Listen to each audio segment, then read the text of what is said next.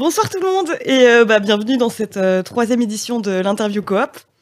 Euh, pour rappel, bah, c'est la première en fait qu'on fait en présentiel, d'où le fait que j'ai l'air un petit peu stressée et mal assise parce que je suis sur le fameux canapé bleu de la rédaction qui est incroyablement inconfortable, mais j'ai le plaisir d'être en compagnie de d'Adeline Chetaille, donc que bah, que vous connaissez sans doute, vous connaissez sans doute sa voix. C'est sûr. Rapport Vous m'avez entendu peut-être quelque part au cours de votre vie, mais euh, mon visage, par contre, n'est peut-être pas euh, connu. Donc euh, voilà. euh, Bah, et pourtant, tu as été aussi euh, comédienne quand tu étais plus jeune, il me semble. euh. ouais, sur des Mm. petits trucs, euh, rien de rien de fou. J'ai fait du Julie Lescaut et des trucs comme ça, donc c'est pas non plus. Euh, quand même, attends, c'est la classe d'avoir Julie Lescaut dans son, Ah, attention. Non, et puis ça remonte à quelques années encore. Mais euh, sinon, euh, plus récemment, j'ai fait euh, pas mal de doublage de voix, notamment pour euh, le personnage de Ellie dans The Last of Us, dont on va parler ce soir. dont on va largement parler ce soir. Voilà. Et puis, euh, bah, j'ai aussi d'autres persos. euh, Bah oui, bah donc déjà, bah Zelda, la princesse Zelda dans Breath of the Wild notamment. Tu fais aussi May dans Overwatch. mhm. Tu fais plus récemment Steph dans Life is Strange. Oui, ouais, ouais. qui est sorti il y a pas très longtemps, ouais. Et alors moi c'est marrant, en faisant un peu des recherches pour l'interview, j'ai vu que donc tu avais fait bon, pas mal de doublages au ciné notamment. Enfin, je sais pas, là le premier exemple qui me vient en tête c'est 13 parce que j'avais adoré Ouais. ce film. Ouais, Mais tu as aussi, euh, et une des phrases, euh, je pense, euh, qu'on t'attribue le plus, c'est euh, la fameuse phrase de Jenny dans Forrest Gump. oui, Ou- cours Forest, cours Ah mais tu le fais trop bien encore, c'est ouf. Ah non, c'est trop nul. Parce que t'avais quel âge quand tu l'as fait? Euh, 7 ans, Dac. 7 ans, ouais. Et je me rends compte avec horreur que euh, je me suis directement lancée dans l'interview et que je n'ai absolument pas fait ma phase euh, femme sandwich dont je te parlais tout à l'heure. C'est Ah le oui. moment où je suis censée rappeler que, On va faire un peu de pub, ouais, voilà. bah, que Canard PC c'est une chaîne Twitch comme vous le savez qui nous rend très riches. Vous le savez depuis qu'il y a eu le leak aujourd'hui. Mais c'est aussi un magazine et on sait même pas pourquoi on continue à le faire. Un magazine dont le dernier vient de sortir en kiosque. Avec, euh, bon, avec euh, des tests de Deathloop, euh, plein de trucs intéressants. Mais il y a aussi un hors-série Doom qui est tout aussi intéressant et qui a été fait par euh, Louis-Ferdinand Sebum, qui a passé son été à écrire sur Doom. Vraiment, euh, soutenez-le en allant acheter ce hors-série qui l'a empêché de prendre des vacances. Et euh, bah, PC Hardware, bien sûr, où il y a euh, des articles euh, comme euh, installer un SSD dans une PlayStation 5. Voilà. Mhm. Mais bref, pour revenir à l'interview. en gros, euh, je vous résume le concept pour ceux qui n'ont jamais vu d'interview coop. Euh, c'est on va donc euh, discuter avec quelqu'un, là en l'occurrence ce sera Adeline, donc quelqu'un en général qui est lié à l'industrie du jeu vidéo et tout en jouant à un jeu, à la bonne Ok. franquette quoi. Ok. Et alors, je tiens à préciser que j'ai reçu un message il y a genre, enfin, une demi-heure avant d'arriver, en mode, ça te dérange pas si c'est toi qui joues et que c'est Hélène qui parle? Et j'ai fait, non. Bah, non, les gars. Tu m'avais même dit que euh, potentiellement tu donnerais la gerbe aux spectateurs si tu jouais. ouais. Mais pas, non, c'est sûr, c'est sûr. non, non, non, moi je sais pas jouer, je sais pas diriger euh, un joystick, euh, c'est l'horreur. Donc euh, voilà, on va laisser faire. Eh ben ouais, une vraie pro gameuse, tu vas voir. pro- Ouais, Non, non, je, te jure, c'est la catastrophe. Je l'avais fait en, en intégrale, en let's play. ouais. Et en fait, à chaque fois, j'essayais de faire de l'infiltration, mais non, impossible, ça partait en bénil. en Non, mais secondes. au moins tu sais te diriger. Ouais, ça, ça va. Voilà, donc déjà ça c'est plus que moi. Par contre, j'adore regarder quelqu'un jouer, donc euh, je suis ravie et puis je suis ravie de, de- qu'on en reparle et de, de revoir des images et tout, ça va me faire euh, Ouais, bah ouais.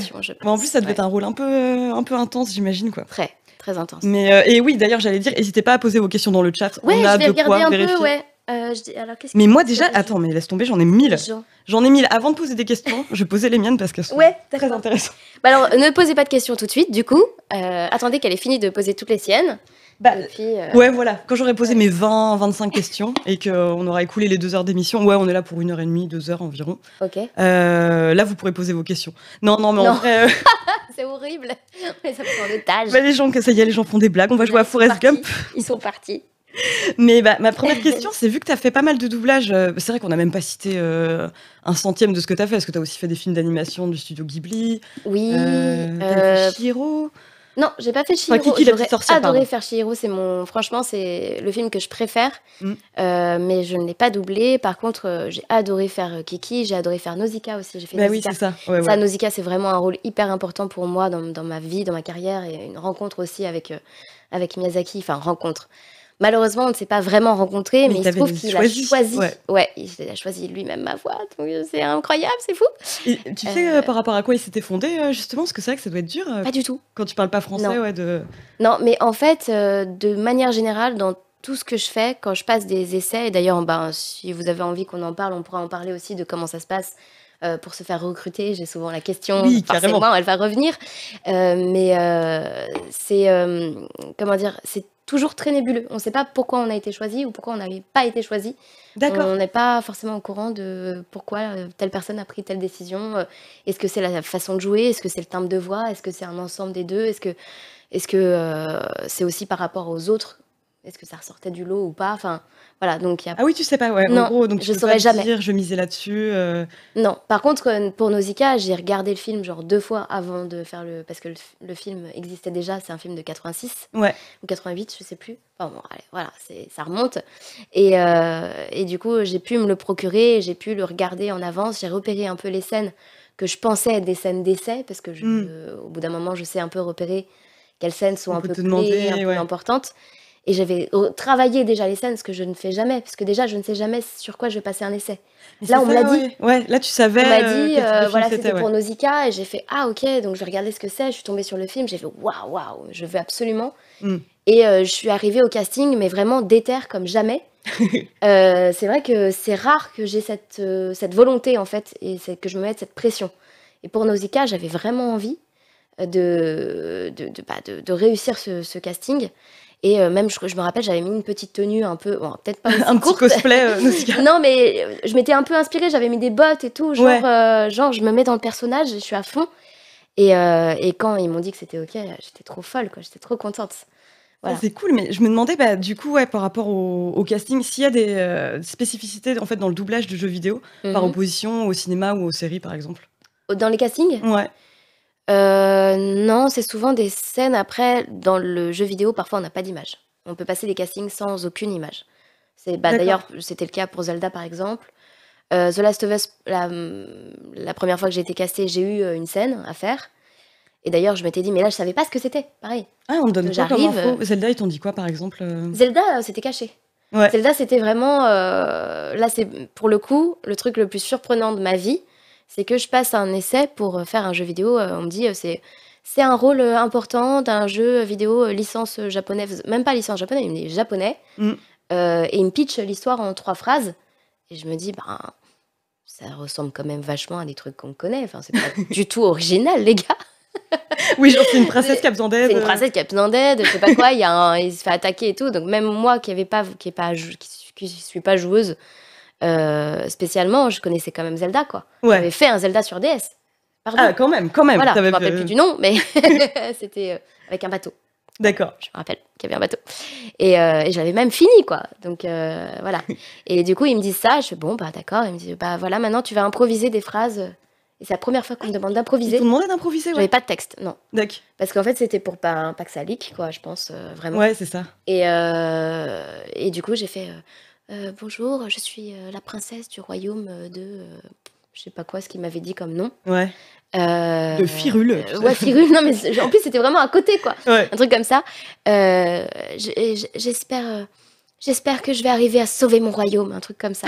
Puis je me suis dit, bon, c'est un peu étrange, ok. Et ils m'ont choisi. Donc j'ai reçu un message en- qui me disait, c'est bon, t'as été choisi pour le rôle, ok, super, rendez-vous tel jour, ok, super, j'arrive. Et là, on me dit, au fait, c'est Zelda. Euh, Ah, Le Voilà. jour où t'es arrivé, Ouais. t'as su que c'était Zelda. Ouais, ouais. Et j'ai enregistré deux minutes plus tard. Mais du coup, c'est vrai que euh, est-ce que parfois tu cours pas le risque de euh, bah, d'a- d'accepter un projet dont tu sais pas grand chose et en fait te rendre compte ah merde c'est un jeu j'ai pas du tout envie de faire? Euh, on me pose souvent cette question, mais parce que en fait, généralement les gens font beaucoup d'amalgames et c'est tout à fait normal entre euh, métier de d'acteur cinéma Mm. euh, ou télévision, enfin bref, euh, à l'écran et euh, le métier euh, de comédien de doublage. Euh, la différence, c'est que on refuse pas les cachets. Ouais. On n'est pas en train de te dire oh putain pour ma carrière, il faut absolument que je fasse des rôles comme ci comme ça. Non. Mm. En fait, on accepte un peu tout et n'importe quoi. euh, dans, à partir du moment où ça reste dans les conditions normales de paiement, euh, voilà, que ça respecte Ouais. la convention et tout ça. Parce qu'il y a des gens qui essayent parfois de, de dire Ah bah tiens, tu me fais un truc, je te file 100 balles. Ouais d'accord ouais. ah non Voilà. Mais euh, ça, euh, voilà, ça, c'est la raison pour laquelle on n'accepterait pas. Mais sinon, il n'y a pas de plan de carrière, quoi. Il Mm. y, a, il y a juste, euh, je suis contente de bosser. Ouais, dès qu'on m'appelle, j'y vais. te- Si c'est ok, euh, voilà, si je suis pas euh, en train de travailler ailleurs et que je suis disponible, j'accepte. Et si vraiment c'est des projets un peu touchy, on va toujours, généralement, on va toujours nous appeler avant en disant, euh, bon, tu dois jouer Hitler, est-ce que t'es ok pour Ah oui, d'accord, ouais, ouais. Par exemple. Ouais, quand même, ils te préviennent, mais là, c'est un cas hyper extrême. Enfin, genre, Mm, mm. euh, je me dis, Euh, peut-être des trucs. jouer H, pardon. J'espère que c'est pas un souci, excusez-moi. Non, non, on a le droit de le dire sur Twitch, je crois. Non, bah ouais, mais j'espère qu'ils préviennent quand même quand c'est euh, ultra touchy, parce que ça, j'imagine que ça doit pouvoir arriver, que ce soit un rôle particulièrement exigeant, ou j'en sais rien, Mm. euh, quelque chose que. Très compliqué. Ouais, Ou euh, une, une fille qui, qui se fait enfin, malmener, qui fait qui a Ouais. des gros soucis, voilà, très très graves, euh, et que bah, on se dit, bah, je vais demander à une jeune fille de faire ça. Voilà, pareil pour les enfants, on peut pas, il y a des autorisations Mm. d'AS en fait pour que les Oui. enfants puissent jouer dans les films et aussi en doublage. D'accord. Voilà, donc euh, moi quand j'étais petite, c'était ça, il fallait que le scénario soit validé euh, par, euh, par les commissions et qu'on soit OK pour faire travailler les enfants. Oui, bah d'ailleurs, bah oui, c'est ce que j'avais vu pour Forrest Gump, c'est que toi, du coup, t'étais pas euh, nécessairement, enfin, bah, t'étais trop jeune en fait pour, par exemple, savoir ce que traversait le personnage de Jenny. en Ah bah fait, oui, c'est Mm. ça, exactement. Mais, euh, mais justement, la, la directrice artistique avait euh, fait en sorte que je ne comprenne pas. Mais par contre, elle me disait T'as peur, t'as peur, vas-y, t'as peur. Et moi, je, bon, ok, j'ai peur. Non, non, encore plus, encore plus. et je me rappelle vraiment bien de cette scène parce que ça m'avait un peu euh, embêtée de pas réussir tout de suite. J'avais envie Oui, que bah oui, tu ça. savais voilà, pas exactement ça- ce qu'on voilà. demandait, ouais. Et, euh, et je comprenais pas, et j'ai compris après pourquoi j'y arrivais pas. C'est normal. Je ne Bah pouvais ouais. pas me projeter dans ce personnage puisque je comprenais pas du tout, heureusement pour moi, Ouais. euh, ce qui se passait. Mais ça doit être d'autant plus difficile dans les jeux vidéo, comme tu dis, t'as pas d'image sur, laquelle- euh, sur lesquelles te fonder en fait Mm. quand tu doubles. Enfin, le genre de configuration habituelle, c'est quoi pour une session d'enregistrement par exemple euh Euh, dans la plupart des cas, alors ça dépend vraiment des productions, ça dépend euh, de- de- du jeu en lui-même. Euh, on est aujourd'hui vers une recherche de qualité de VF Mm. de plus en plus forte. Donc les, les, les productions comprennent qu'il faut donner des éléments pour qu'on puisse travailler, genre des images. Ouais, Le souci, c'est que ces images, elles doivent pas sortir de- du studio. ouais. Donc ils ont vraiment très peur de ça. Donc on a toujours des rappels, enfin même maintenant, je crois que la, la- la réglementation, c'est carrément de nous prendre nos téléphones euh, à l'entrée du studio et euh, de nous le redonner que quand on a terminé. Ah ouais, la vache. Donc ça commence à être très très strict. Ouais. Mais du coup, on a accès à plus de choses, donc c'est top.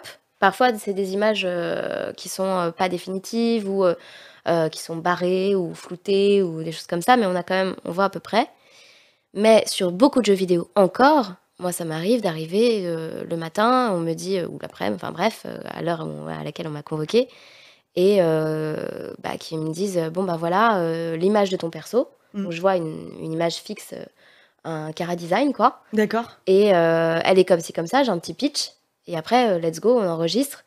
Avec euh, bah, juste, j'entends les audios et je refais euh, les audios. Et parfois, je ne comprends même pas ce que je dis, puisque j'ai pas le T'as pas de dialogue. contexte et tout. En fait, j'ai pas de contexte. Ouais. Voilà. oui, en plus, euh, j'imagine que bah, j'avais discuté avec quelques comédiens de doublage, euh, bah, notamment Cissy Jones qui fait euh, Delilah dans Firewatch et qui me racontait que ok. elle avait eu, et c'était un luxe, l'occasion de doubler avec l'autre acteur. Quoi. Et ça, Ouais. apparemment, c'est très rare. Quoi. C'est très rare. C'est plus pour une raison technique, Mm. puisque tout ce qui est cinématique, on pourrait faire ensemble. Ce serait top d'ailleurs, puisque c'est comme une scène cinéma finalement. Bah ouais, c'est ça. Donc euh, voilà, sauf que bon, depuis, euh, depuis euh, la catastrophe sanitaire, Ouais. on, est, on est tout seul en studio quasiment. Là, on recommence à enregistrer un peu à deux, Mm. maxi. Mais c'est très rare. Et, et pour les jeux vidéo, bah, les cinématiques, ok, mais tout ce qui est in-game, comme ça doit être un fichier qui se déclenche quand toi tu fais un truc, par exemple, tu vas ramasser un, quelque chose, donc à ce moment-là, ça va se déclencher. Oh, je sais plus. Ah. Excusez-moi, c'est la manette On a perdu le jeu. Elle est en train de me. On parle trop me- déjà, on n'a même pas commencé à jouer. C'est clair, elle est en train de me signifier euh, subtilement que c'est le moment de jouer. Mais vas-y, je prie, euh, Euh, euh, je sais plus ce que je disais. Oui, euh, tu. par rapport à l'enregistrement à plusieurs en studio maintenant. Oui, en fait, voilà. Donc, tu es en train de jouer à The Last of Us, par exemple, Par exemple, Voilà. par exemple. et euh, tu vas euh, ramasser euh, un machin, et voilà, et, et Ellie va dire Ah, ce truc, ça, c'est intéressant. par Ah oui, oui, ouais. Bah, ça, C'est un fichier qui est tout seul, que tu enregistres séparément et qui va être implémenté, implanté, implémenté, je sais pas comment on dit, dans le jeu pour se déclencher. Donc, je dois l'enregistrer toute seule. Ouais, Du coup, ça veut dire que ça va être quoi les séances? Ça va être, euh, bah, je vais dire, ah, c'est intéressant ce truc. Et puis après, euh, euh, Cyril Monge, pour son personnage, il va, ah oui, c'est intéressant ce truc. Il va, euh, il va faire son fichier à côté. En fait, voilà, je vais juste attendre qu'il ait fini ses phrases et moi faire les miennes. d'accord, ouais. Ça a peu d'intérêt en fait d'être ensemble pour ce genre de fichier. Ouais, ouais, ça je peux comprendre. Mais par exemple, là, en fait, Pour c'est des vrai dialogues, oui. qu'on va arriver en plein ouais, The Last of Us et Ouais. euh, 2. Je crois qu'on a, on a passé la phase un peu tutoriel au début avec euh, Joël. Alors attends, comment je reviens? Ah, j'ai une petite question au passage, euh, pendant que tu fais tes petits réglages. Ouais, ouais, vas-y, vas-y. Je vois ça. Euh, T'as l'occasion d'écouter le doublage anglais avant de faire le tien. En effet, bah si c'est anglais. T'as la, t'as la voix, ouais, c'est ça, Ah le oui, fichier bien voix, ouais. sûr. ouais. En fait, je travaille même à la forme d'onde. C'est-à-dire que je vois, je, je- enfin, j'entends le fichier, l'audio anglais. Et oh, coucou Ellie. et, je, et je vois euh, en même temps la forme Hello. d'onde. Et en fait, c'est mon, c'est sur ça que je vais me baser pour faire le doublage. Allez. Ouais, parce qu'en plus, tu dois La pouvoir synchro. te caler. Ouais, c'est ça, ouais, Mm. voilà. Évidemment que je m'inspire du, du- de la voix originale à chaque fois. S'il y a une voix originale. Ouais, là, c'est Ashley Johnson, Ouais. c'est ça? Ashley Johnson qui a fait un travail formidable sur Ellie. Et bah, par exemple, pour The Last of Us, euh, qu'est-ce que tu savais du jeu avant de. Rien. Rien du tout, Le ouais. premier, rien. Ouais. Non, non. Ça, c'est dingue, quoi. Après, on a un, un directeur une de artistique ces trouilles qui est. J'ai oh là là, frappé à la porte, mais ça fait toujours bizarre. Bah oui, non, mais tu m'étonnes. Euh, Euh, le directeur artistique qui s'appelle Jean-Philippe Brière. C'est un homme euh, vraiment euh, formidable qui, euh, à qui ça tenait à cœur Non, vraiment de faire la meilleure VF possible, Mm. surtout pour ce Tu sais, type de jeu. Ouais. Il, de toute façon, il dirige beaucoup de cinématographique, AAA, euh, euh, voilà, mais narration et tout. c'est ça. Donc lui, il a Ah, chopé un maximum d'informations, il m'en a donné aussi un maximum. Euh, et, euh, et pour ça, il a été super parce que j'ai été guidée.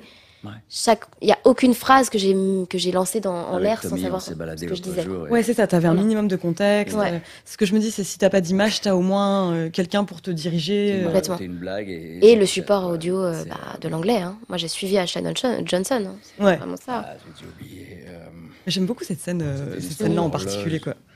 Joël, écoute, euh, il est super tard et Mais ouais, ça fait pas trop bizarre de se entendre après coup. Ouais, c'est vrai, je sais. je- Non, ça va. Tu juste- dois avoir l'habitude en. en- Ouais, ouais, ouais.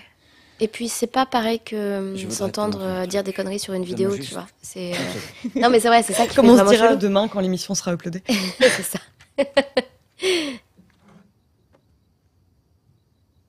qu'est-ce que c'est? Oh là là là là. Par ici. Ouais, la fameuse scène de la guitare, quoi. guitare. Je, je vais jouer de la guitare. Ouais. Parce que tes yeux ébahis. Moi, j'adore euh, le personnage de Joël. Il est tellement Je peux te jouer Ouais, là, du coup, vous tournez. pudique et maladroit. Et... Ouais, c'est ça. Ouais. Bah, typiquement, sur une euh, scène comme ça, là, vous tourniez ensemble, quoi. Vous enregistrez ensemble. Ah ouais, non, même pas du tout. Non, on peut pas. Non, Mais non. c'est fou, quoi. Non, non, ça aurait Parce été que- génial. Par contre, ce qu'il faisait, c'est-à-dire l'ingé son, ce qu'il faisait, c'est que quand il y en avait un qui avait enregistré d'abord, Ouais. il mettait dans le casque en fait la, réplique en français. D'accord. Comme ça, t'as j'avais vraiment euh, l'impression qu'il était là et je pouvais lui répondre ou vice versa. Mm. Mais quand t'es le premier à enregistrer, bah t'es le premier. Donc euh, Je compte sur toi. Ah ouais. Et question, peut-être un peu bête, mais tu te prépares comment pour un... Parce que je me dis, pour un rôle comme Zelda, où tu as peut-être, tu vois, une espèce Mhm. de matière, où euh, tu sais que c'est un personnage sur lequel il y a des attentes, euh, pour un perso comme celui d'Ellie, euh, dont tu savais sans doute pas Mhm. grand-chose, euh, tu... Ouais, tu te prépares comment? Tu vois, je suis une pro de guitare. hein, Oh waouh, je suis trop impressionnée.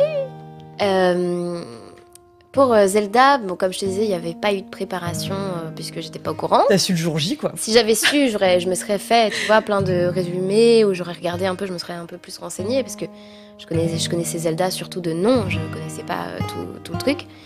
Mais en fait, j'ai été vachement drivée euh, parce qu'il y avait euh, quelqu'un qui représentait euh, Nintendo, Ouais. Euh, la personne en fait qui a fait la traduction du jeu et euh, qui pouvait me donner toutes les infos.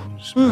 Voilà, qui pouvait me dire voilà Zelda euh, bah, a évolué, euh, c'est un personnage euh, plus fort, euh, voilà on, on met plus en avant sa, ses possibilités, même Ouais. si bon elle n'y arrive pas, bah, voilà au moins elle essaye.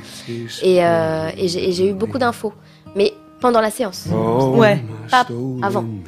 Pour The Last of Us, euh, Jean-Philippe m'a dit quand j'ai été choisie, donc j'ai fait la- le casting, j'ai été euh, choisie, j'ai été validée.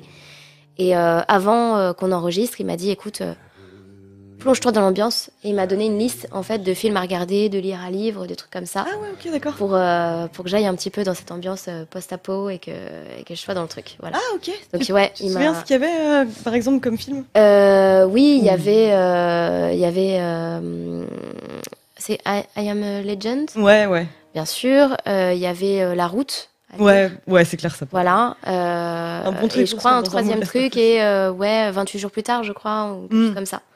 Voilà. Donc, Ouais, du coup, tu peux euh, un peu t'imprégner euh, ouais. d'histoires tristes. Donc je suis arrivée, c'est vrai que je suis arrivée le premier jour euh, en mode euh, vas-y, euh, je suis une survivante, euh, voilà. et, euh, et puis après, c'est le scénario qui nous a aussi euh, embarqués, quoi. Ouais, c'est ça. Ouais. Parce que même lui, il n'avait pas toutes les infos dès le départ. Voilà. Est- Par contre, sur, euh, pour le. Pour le, le deuxième, euh, il a encore plus poussé le truc et, Ouais. et on avait un max d'infos, mais il m'a, il a fait aussi exprès de pas forcément tout me dire. Oui, bah Ouais. justement ce que je me demandais parce que bon pour ceux qui n'ont pas joué à The Last of Us 2 et je j'essaie de pas trop vous spoiler mais disons que le personnage d'Ellie euh, devient particulièrement sombre voilà d'une à certaine manière à et fait. ça ouais est-ce que euh, du coup tu le savais un peu à l'avance quoi que tu allais avoir Oui. un rôle changeant par rapport Bah, au il m'a même, euh, au contraire, il m'a même plus dit qu'elle devenait euh, vraiment méchante. Mm. Je pense qu'il voulait aussi qu'on. Faudrait lui en parler à lui. hein. je pense qu'il voudrait, il voulait vraiment que je que je- que j'appuie ce trait-là ouais euh, pour euh, pour vraiment montrer à quel point euh, elle passait voilà de l'autre côté. Ouais. Mais quand j'ai regardé le le jeu en lui-même, j'ai trouvé que c'était pas non plus exactement vrai. C'est-à-dire qu'elle elle dépasse les bornes, c'est clair. Et pour moi, elle a dépassé les bornes. Il y a un truc qui est impardonnable à un moment. Mais euh, ça reste Ellie, quoi. ouais ouais ouais bah oui ça- Euh, voilà. Bah, surtout euh, qu'on l'a ouais c'est ça il y, a- il y a quand même un attachement On l'aime énorme toujours. qui se fait Ouais. par rapport au premier ouais Mm, mm. Allez, elle dort bien. oh la vache Mais ouais, non, il m'avait raconté un peu le truc. Moi, c'est ce que, ce que j'ai vu surtout, c'est à quel point le, le joueur allait être retourné euh, dans tous les sens, quoi. Et j'ai je trouvais ça exceptionnel. J'avais C'est- très envie de voir les réactions des gens. quoi. Bah oui, parce qu'en plus, ça doit être, euh, tu dois avoir ce truc ultra frustrant qu'ont euh, les développeurs aussi, quoi. C'est, Mm. euh, Tu ne peux rien énormément dire. sur un Mais truc ouais. qui est ultra attendu et tu peux pas. Mais mon copain est super fan, je ne pouvais rien lui dire. Ah ouais. Moi, je suis rentrée de, Ouais. des scènes, euh, d'une fameuse scène, voilà, on va pas spoiler si jamais, mais euh, d'une- fameuse, euh, d'un truc très très dur. Mm. Je suis rentrée, j'étais comme ça, un Ouais, peu bah ouais, quand même. Et, euh, et je pouvais pas dire quoi. Pourquoi Je pouvais juste lui dire. J'ai j'ai pas arrêté de lui dire. Oh là, c'est un truc de fou, c'est un truc de fou. Tu vas voir, c'est un truc de fou. tu vas voir ce qui va se passer. voilà. On a dû attendre un moment. Ah la vache. Mais c'est ça, parce que par exemple, euh, j'ai l'impression que t'as as, peut-être un peu plus, plus, plus communiqué sur des jeux comme Life is Strange, un peu, où euh, ça dépend c'est vraiment la des première éditeurs. ou fois. des- euh, Mais Square Enix, ils sont exceptionnels parce que c'est la première fois que je peux communiquer avant. Ouais, Ils étaient ok parce que justement ils ont axé un peu leur communication sur la voix. ouais, c'est ça. Voilà, j'ai fait une vidéo avec Sora qui. euh, Mais oui, je l'ai vu, qui a fait justement. un petit PNJ. Euh, c'est marrant parce qu'on voit vraiment le. Ouais, c'est ça, Mm. on voit un peu le, le processus Ouais. avec la bande euh, Ouais. Et, euh, et les ondes. euh, Exactement, bah, c'était, c'est exactement ça. Et, euh, et c'est trop bien d'avoir pu mettre ça en avant, d'avoir pu en parler, euh, de montrer comment ça se passe. Et moi, euh, juste d'avoir tweeté au moment où la bande, euh, la bande annonce est sortie, d'avoir tweeté ouais, je fais Steph dans Life is Ouais. Strange, alors que le jeu n'était pas sorti, mais t'imagines pas comment ça m'a fait plaisir. Bah ouais, ouais. parce que c'est un truc, c'est interdit, je, je Mm. peux pas. Euh, voilà, donc de pouvoir travailler avec, euh, avec Square Enix et, et de dire de, de- que ça devient un élément de com pratiquement, c'est un truc incroyable. Moi, quand j'ai vu la, la, le générique de début de God of War, que j'ai vu qu'il y avait les noms Oui, des, des, des comédiens de doublage au, au début, limite j'ai pleuré en fait, parce que je Euh. me suis dit mais c'est un truc, c'est, c'est un bond en avant pour notre métier, c'est une mise en valeur euh, incroyable, c'est trop bien. Bah c'est ça, parce que j'ai l'impression qu'effectivement, autant dans le, le, le doublage cinéma, on commence, enfin, il y a des noms identifiés, etc. Mm. Euh, ça commence à être un peu le cas avec, euh, avec le jeu vidéo aussi, quoi. Il y a Ouais. effectivement, mais au point que ce soit intégré comme un élément de communication, c'est Mm. vrai que c'est- j'ai l'impression que c'est assez récent, quoi. C'est très récent et ben je suis trop contente, trop bien. Mais en plus, vu que tu fais du doublage, je sais pas, c'était quoi ta toute première voix en, en jeu vidéo déjà? Euh, ma toute première voix en jeu vidéo, c'était un didacticiel de euh, Kinect Animals. D'accord. Euh, voilà. Ouais, mais donc ça fait Après, j'ai fait du Call of Duty. Ouais. Euh, rien à voir. Un excellent rôle aussi euh, en tant que pédestrian numéro 7 dans Watch Dogs, j'ai vu. Ah ouais ça m'a fait beaucoup trop rire. Euh, c'était numéro 7 ou numéro 12 Ouais, numéro 7, euh, Mais je peut-être. crois que tu racontais que par contre, tu avais passé 12 heures d'enregistrement à faire ce PNJ, quoi. Exactement. Ouais, parce qu'en fait, c'est la, comédienne en original, elle a fait plein de petites nanas qui, qui, qui, qui passent à droite à gauche, des petits rôles comme ça, un truc à la radio, un machin et tout. Et ouais, ça, ça a nécessité euh, 12 heures d'enregistrement. Mais Watch Dogs, c'est énorme. Watch Dogs, les enregistrements, euh, bah, c'est un monde ouvert, donc forcément. Oui, il faut donner l'illusion que le monde Ah, continue. si, tu, euh. si tu peux parler à chaque personne, il faut que chaque personne puisse te répondre. Donc, euh, Bon, je- je- il faut quand même que je regarde un peu le chat, non? Mais, mais du... ouais, ouais, oui. Moi, j'étais là, faut peut-être que je regarde un peu le jeu. Mais je me demandais aussi, bah ouais, si t'avais quand même le sentiment que depuis que t'as commencé à doubler dans le jeu vidéo, t'avais l'impression que les conditions de travail avaient un peu évolué. euh, Ouais. J'en avais discuté Ouais, avec un, un acteur anglais, alors je sais pas comment c'est en France, mais qui me disait que fut un temps où on pouvait leur demander euh, de faire des séances d'enregistrement où ils doivent juste hurler, enfin faire un mec qui meurt ou j'en sais rien. Ouais. Donc trois heures dans la cabine à hurler et Nous que aussi. euh, ouais. pareil, ouais. Bah, Call of Duty. Ah oui, Call of Duty. Duty, ouais, tu sais quoi bah, tu, bah, j'ai fait euh, Soldier euh, machin, tu vois, dans chaque Call of quasi depuis le 9. Ouais. J'ai mon personnage de Misty, mais j'ai aussi à chaque fois. En fait, comme moi, je suis OK pour crier. Et c'est assez rare. J'aime bien, hein, franchement, j'aime bien. Et je me, j'ai les cordes vocales qui tiennent le coup. Parce que ça, c'est un problème. C'est-à-dire, même si t'aimes crier, Ouais. tu peux, bah, au bout d'une heure, à, à hurler euh, grenade. euh, Ah ouais, non, mais c'est ça. En plus, ouais, c'est Et moi, ça me défoule de ouf. J'adore faire ça. Ah ouais Franchement, ça me, ça me fait beaucoup de bien. Donc, euh, je, je recommande cette thérapie. hein. Il y a des gens qui vont dans la forêt et qui crient. euh, c'est Donc là, c'est pareil, ça fait le même effet, ça fait beaucoup de bien. Mais c'est vrai que bon, bah, il y a, y a plein de comédiens et de comédiennes qui, euh, bah, qui juste au niveau des cordes vocales peuvent pas, quoi. Parce Ouais, que c'est ça mal. On peur de s'abîmer. Voilà. euh. Moi, ça, au bout de trois heures, trois heures, c'est ma limite. Au bout de trois heures à hurler, vraiment, j'ai, je sens que ça, tu sais, tu t'as- je sais pas si ça t'est déjà arrivé, mais tu sens les cordes vocales qui, comme si elles étaient un peu molles, ça fait un truc bizarre. Ouais. Et voilà, et t'as besoin d'un thé euh, chaud et, ouais, de faire une pause. Mais surtout qu'en plus, j'imagine que parfois, t'as des. Oula, j'ai complètement perdu notre pote. Euh, je me dis que surtout parfois, tu dois avoir des moments où t'alternes plusieurs projets en même temps. Et Mm. donc, du coup, potentiellement, tu passes de euh, bah, personne qui crie pendant trois heures à, euh, j'en sais rien moi, Ouais. euh, la voix d'un ouais. perso plus important où tu dois Ah faire ouais, une non, mais il y a des journées, euh, je, je prends ça en exemple parce que c'est vraiment les deux extrêmes. Je fais pas de patrouille et euh, Walking Dead, quoi. Rien. Je voyais sur le chat, est-ce que je fais des entraînements comme les chanteurs Euh, Quand on est euh, comédien, oui, il faut faire des, des petits exercices de diction, des entraînements, des trucs comme ça. Après, se chauffer la voix, c'est pas forcément euh, nécessaire pour tous les rôles. Ouais. Mais en effet, avoir un truc de cri comme ça, je pense qu'il faudrait. Moi, j'ai pas les, j'ai pas les skills, hein, je sais pas faire. Euh, mais je pense que ouais, ouais, il faut se chauffer la voix. Ça Ouais, non, c'est bah, clair. Mm. D'ailleurs, euh, Mm. en, parlant d'exercice de diction, tu me Ah penser qu'il y a Yvan, Yvan qui a fait des. Enfin, non, c'est pas Yvan qui a fait ça, mais la nièce d'Yvan a la fait des marshmallows. Et Ouais. euh, si t'en veux, hein, d'ailleurs, n'hésite pas. Mais tu m'as surtout parlé d'un exercice de diction avec des marshmallows et je suis quand même ultra curieuse. Alors, tu sais quoi, il faut que j'aille chercher des trucs de diction. Ah ouais je connais deux trois, mais euh, Moi, j'avoue, c'était juste une excuse pour bouffer un marshmallow. ah ok. bon vas-y, euh, les chaussettes de l'archiduchesse, on peut faire ça. Avec un marshmallow? Mon ongle. Oh merde Excusez-moi. Ah. Hum. Oh, peu- Mais non, c'est impossible. Les chaussettes de l'archiduchesse Hum. sont sèches. Non, c'est impossible ton truc. Hum, c'est très bon. C'est bon, hein, merci la nièce d'Yvan pour ce. Mais franchement, qu'est-ce que c'est que cette horreur? C'est trop bon. C'est littéralement un marshmallow avec du chocolat et un Spartus dessus, quoi. C'est Incroyable. quoi. Alors, dis-moi, gros grand- Non, nul. Hum, euh, Qu'est-ce que je connais comme autre truc On est bien reçu chez CPC même. Bah ouais, attends, les Ouais. marshmallows, bien sûr. Ah Ça ouais. va devenir un classique, je pense que les gens l'exigeront avant de venir.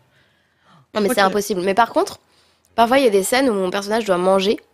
Dans, ça, ça peut n'importe quoi, doublage ou euh, jeu vidéo ou quoi que ce soit. Et euh, j'ai pas, j'ai pas forcément quelque chose à manger. Puis même, ça peut gêner un peu le truc. Donc, il faut, faire un- faut savoir faire. Ouais. fait partie des petites techniques que tu dois apprendre.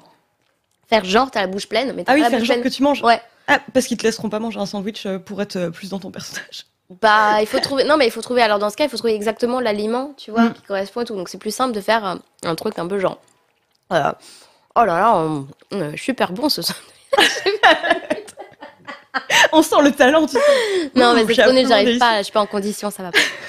ça va pas. Mais non, mais c'est pareil, même j'imagine. euh, t'as pas beaucoup, t'as du temps pour te préparer un peu quand on te dit bon bah là, euh, en fait aujourd'hui ton personnage va pleurer Ouais. ou euh, ton personnage va être complètement Non. essoufflé. C'est Ah vraiment t'arrives et jeté dans le truc euh, complètement, quoi. surtout qu'en plus, je crois que t'avais entendu dire que vous répétiez pas en fait, enfin Non. vous aviez pas l'occasion de répéter quoi. Non, non. En fait, C'est quand même fou. en fait on, on te balance le truc, c'est-à-dire que voilà, voilà la scène, vas-y, refais-la. Ah oui, d'accord, ok. En- en vrai, ce que ça. ça. marche quoi. Voilà, en vrai, c'est ça. Et il faut le faire le plus bah, efficacement et rapidement possible. Alors que tout irait tellement plus vite si on vous donnait un marshmallow euh, pour les moments où vous parlez la bouche pleine quoi. Bien sûr Non, si ça tenait qu'à ça. Mais d'ailleurs, pour euh, revenir euh, à ce que je te disais sur les castings et tout, Oui. c'est justement pour cette raison, parce qu'il faut que ce soit euh, assez efficace, que ça fonctionne pas euh, comme euh, pour les castings de cinéma.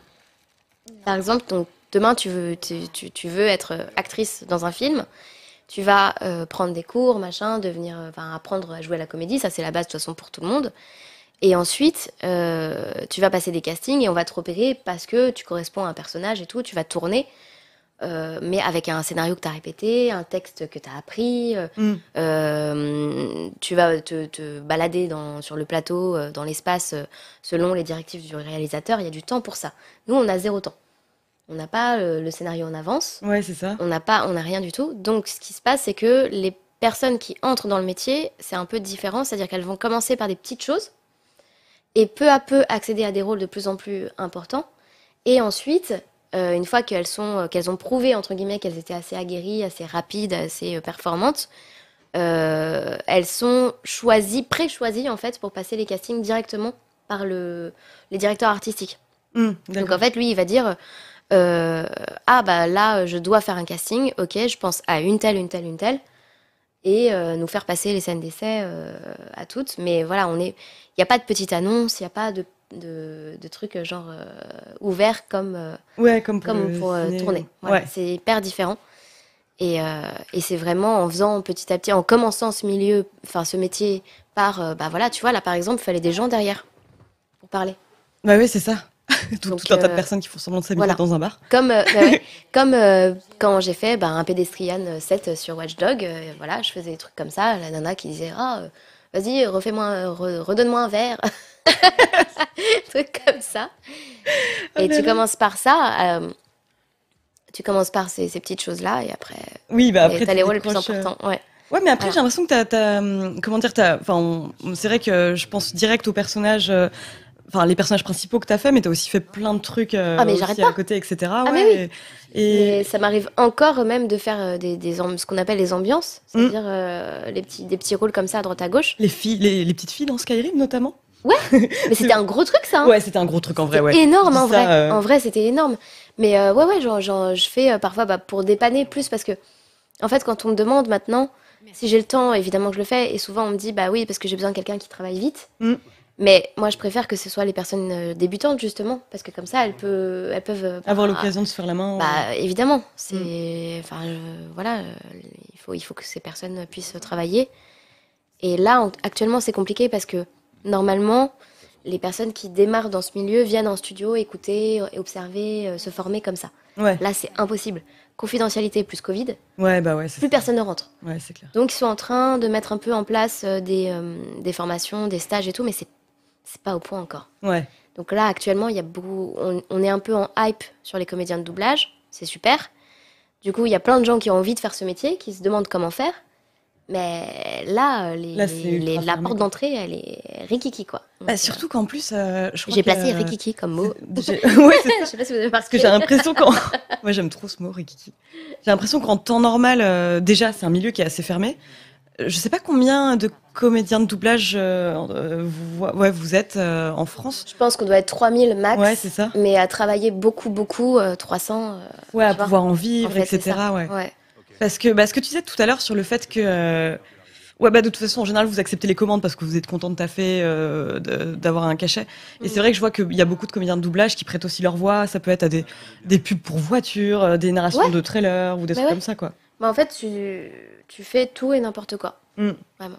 Je voyais une petite question passer. Ah ouais, non mais d'ailleurs merci beaucoup parce que j'arrive à peine à acheter un. Putain, je vois plein de questions. Mais oui, je suis désolée, il y en a plein. Euh, Ce n'est pas que trop les des- de doublage sont payés. euh, Comment on est payé? Bah écoute, euh, on touche des droits en même temps que nos cachets. Nos droits sont négociés sur, euh, sur 10, 15, 20, parfois 50 ans. Ouais. Donc ça, c'est un pourcentage sur le cachet. Et après, il y a une convention. Donc tout le monde peut avoir accès à cette convention de doublage. On est payé en fait aux lignes de dialogue. D'accord, ok. En gros, je fais un gros Il y, a un, il y a un forfait, euh, comment dire, à la ligne Il y a de des dialogue, forfaits. En fait, c'est ça. Il y a un forfait. Si tu fais des petits personnages, tu fais un petit truc. Il y a un forfait minimum. Je crois que c'est 100 euros à peu près Mm. euh, minimum, plus les droits. Euh, et puis après, plus tu fais des trucs importants, plus tu es payé, entre guillemets. Ouais, c'est ça. Et une ligne, on est payé à la ligne. On appelle ça la ligne de, de dialogue. Et en fait, ça correspond à environ 50 caractères, je crois. D'accord. Donc tous les 50 caractères, c'est comptabilisé comme une ligne et cette ligne est payée entre 5 et 6 euros, un truc euh, dans le genre. Ouais, c'est ça. Mais surtout qu'en plus, moi, je pense que le truc qu'on sous-estime vachement en tant que joueur, c'est le nombre de lignes que vous avez à, Ouais. à vous taper. Hein, Après, ça, c'est doublage. Euh, En jeu vidéo, c'est compté différemment, c'est plutôt un tarif horaire. D'accord. Voilà. Ouais, le temps que tu vas passer dans la, Ouais. dans la cabine. euh, Mm. La cabine, habituellement, t'es avec euh, donc un DA, un ingé son, c'est ça quoi En fait, je suis toute seule dans, mon petit, dans ma petite cabine, Ouais. mon petit bocal de poisson rouge. et euh, j'ai euh, le l'ingéon, l'ingé- l'ingéon, l'ingé son et le DA qui sont, ou, ou, l'in- enfin, ou au féminin, hein, attention, ça peut être aussi des filles, Ouais. euh, qui sont de l'autre côté et qui me, qui me disent dans mon casque, un peu plus long, un peu moins, euh, non, là, plus vénère. euh, Ouais, je vois. Oh non, euh, là, t'as trop crié fort, je reprends. voilà. Donc il me guide au fur et à mesure de la séance. Et j'avais vu une autre question. Ouais, moi aussi. Parce que là, je vais devoir mettre la misère à un enfant. trop désespérant d'enchaîner les lignes de texte. Ils ont le sens du tact, hein, quand même, hein, nos, nos spectateurs. Non, bah non, ça va. Écoute, ça, ça va, franchement. Euh, non, c'est pas désespérant. En fait, ça fait partie du métier, je trouve, de comédien. Et c'est pour ça que j'adore aussi le jeu vidéo. C'est que tu dois tout imaginer dans ta tête. Oui, Tu dois imaginer la personne qui te répond, ce que tu es en train de faire, euh, machin. Tu vois, par exemple, là, sur cette scène, Ouais. je voyais pas. tu savais pas qu'elle Bah- balançait des boules de neige? En fait, si, j'ai bah, j'ai eu des infos, quand même. mais tout se passait dans ma tête. Puisque Ouais, euh, là, tu es en in-game. Donc c'est impossible. Je peux pas doubler là-dessus. Bah oui, c'est juste un fichier audio, en fait, pour toutes les situations. Donc, Ok. J'ai le fichier audio, je me rappelle très bien, on y a passé des heures. Parce que j'ai le fichier de je te le mets, je te le mets dans la tronche, mais ou alors je te rate. J'ai le fichier finalement on gagne ou on perd. Euh, j'ai euh, toutes les situations. Je vais essayer de Ça, ça demande. juste cette scène-là Ouais. demande euh, des heures en fait. Ah, mais ça m'étonne pas. Parce qu'il y a tellement, il y a 12 000 possibilités, donc 12 000 euh, dialogues. Et ce qui est intéressant, c'est qu'à chaque fois, je devais imaginer un truc. Voilà. Ouais, c'est ça. Tu dois. En fait, tout ce qui est in-game, tu dois visualiser. C'est ça. euh, Je par dois imaginer que je suis en train de me quoi. Ça fait baisser. une Je grande dois portion du imaginer, jeu, quoi. ouais. Je dois imaginer que bah que, que je suis contente ou alors que je suis vénère, que je suis euh, euh, essoufflée, euh, Eh, c'est ça. ouais, tous les trucs. J'essaie de sortir victorieuse pour qu'on entende le moment où, où tu sors victorieuse. Je crois que je leur dis un truc horrible en plus. Je dis mais oui. dans ta face. Ah merde, j'allais en foutre une sur Dina. Oh là là. Attends, attends, je suis en train de me faire avoir par ces que enfants. Aline fait exclusivement du doublage ou on peut la voir au théâtre, cinéma, télé? Non, tu peux me voir nulle part à part sur Twitch apparemment. il Comme me- ce soir. Il me semble avoir lu que euh, ce que t'aimais bien justement dans le doublage voix notamment, c'était le Ouais. fait que ça te permettait une grande diversité dans les rôles. Donc, complètement. Ouais, où t'étais moins, comment dire, euh, typecasté, enfin catégorisé, euh, comme tu pourrais l'être face caméra. Bien sûr, mais attends, t'imagines, je passe de Zelda à Ellie. Ouais, Déjà, juste ça, ça n'a rien à voir. C'est clair. Euh, et c'est, euh, je fais, je fais l'ambulance dans la patte patrouille. euh, C'est trop bien. et et je fais aussi, voilà, je sais pas, du, du, du Evil Dead, quoi. Mm. C'est, Ouais, c'est trop cool. c'est trop cool. Je pense quoi. que en tant que comédienne à l'écran, j'aurais jamais ces rôles-là. Mm. J'aurais que le rôle de la petite. Bah déjà, j'ai l'air d'avoir 17 ans, donc euh, je fais genre j'ai 17 ans euh, pour l'éternité. Et euh, mais ouais, j'ai arrêté de tourner parce qu'en vrai, ça devenait compliqué. Il y avait un truc que j'avais pas capté, c'était que quand tu quand arrives en casting, il faut que tu sois déjà le personnage même quand même quand t'attends dans la salle d'attente. Ah oui, ok. Parce qu'en fait, on veut pas quelqu'un qui joue la comédie, on veut quelqu'un qui est naturellement Mm. comme ça. Donc en fait, il faut vraiment faire genre, si tu veux le rôle, Ouais. euh, faut faire genre que t'es la- le personnage qu'on attend dès que t'arrives. Et euh, en tout cas en France. Je sais pas comment ça se passe dans les autres pays, mais c'est vrai que les réalisateurs français veulent vraiment. des- des- ils cherchent des caractères, ils cherchent des personnalités, ils cherchent pas quelqu'un qui joue la comédie. D'accord. Tu vois, un- il y a une Ouais. petite nuance. Et euh, en tout cas, pour le type de rôle auquel on- j'avais accès, hein, peut-être que quand c'est des gros trucs cinéma, euh, évidemment, c'est différent. Quand tu deviens une grosse resta, euh, ouais. Mais, et, et je sais pas, j'avais pas capté ça, et moi, je, je voulais absolument montrer que je savais jouer la comédie. Mm. Donc, je voulais montrer mes visages. Ouais. voulais dire, euh, ok, j'arrive en petite nénette, en robe, machin, mais je peux faire une racaille si, si je veux. Et, euh, et ça marchait pas bien parce que je voulais aussi des rôles plus importants. Je voulais des rôles de mon âge. J'avais 16 ans, tu vois. Je voulais Ouais. des rôles de 16 ans alors que j'avais une gueule de 10 ans. Ouais, ouais. Et ça marchait pas, évidemment. Ouais, je, plus. je capte, ouais. Ouais, donc euh, ça m'a saoulée. Et puis je regardais la télé, je me dis, mais attends, qu'est-ce que je vais faire euh, Joséphine Gerdin, bon, j'aime bien. Il n'y a pas de souci, je ne crache pas euh, sur tous les gens qui ont travaillé là-dessus, évidemment. Mais ça me, ça me faisait pas envie. Ouais, c'est ça. J'avais pas. Alors qu'à côté, je faisais des trucs déjà. euh, Ouais. euh, avec plein de choses à défendre, avec des personnages vraiment différents, variés. Bah, qui, en plus, deviennent de plus intéressants, les personnages féminins. C'est euh, ça. Ah ouais, en plus, ouais. Vraiment. euh, J'avais discuté. que euh, ouais, j'ai vécu ça, aussi, quoi. Ah ouais, ouais, bah ouais, l'évolution un peu des personnages, quoi. Où, euh, Mm, mm. En gros, bah, ce que me racontait euh, bah, la- celle qui doublait euh, Delilah dans Firewatch, Ouais. c'est qu'il y a eu. Oui, d'ailleurs, je suis carrément en train de spoiler un article qui sera dans le prochain Canard PC, c'est pas grave. Mais sur, sur les comédiens de doublage, où, ça va, ça va. J'ai le droit de communiquer dessus. Mais en gros, elle, elle me racontait quoi C'est ça. Il y avait une période où les personnages féminins, c'était soit la demoiselle en détresse, soit euh, le personnage de la femme euh, excessivement forte. Et elle était contente en fait de voir que se développait un peu une zone entre les deux, quoi. Ouais. Il y avait un- des personnages un peu plus complexes et étayés, pas des stéréotypes. Et c'est de plus en plus le cas. Et je suis heureuse parce que du coup, euh, bah, j'ai accès maintenant à des rôles incroyables. Quoi. Et Ellie, c'est juste incroyable.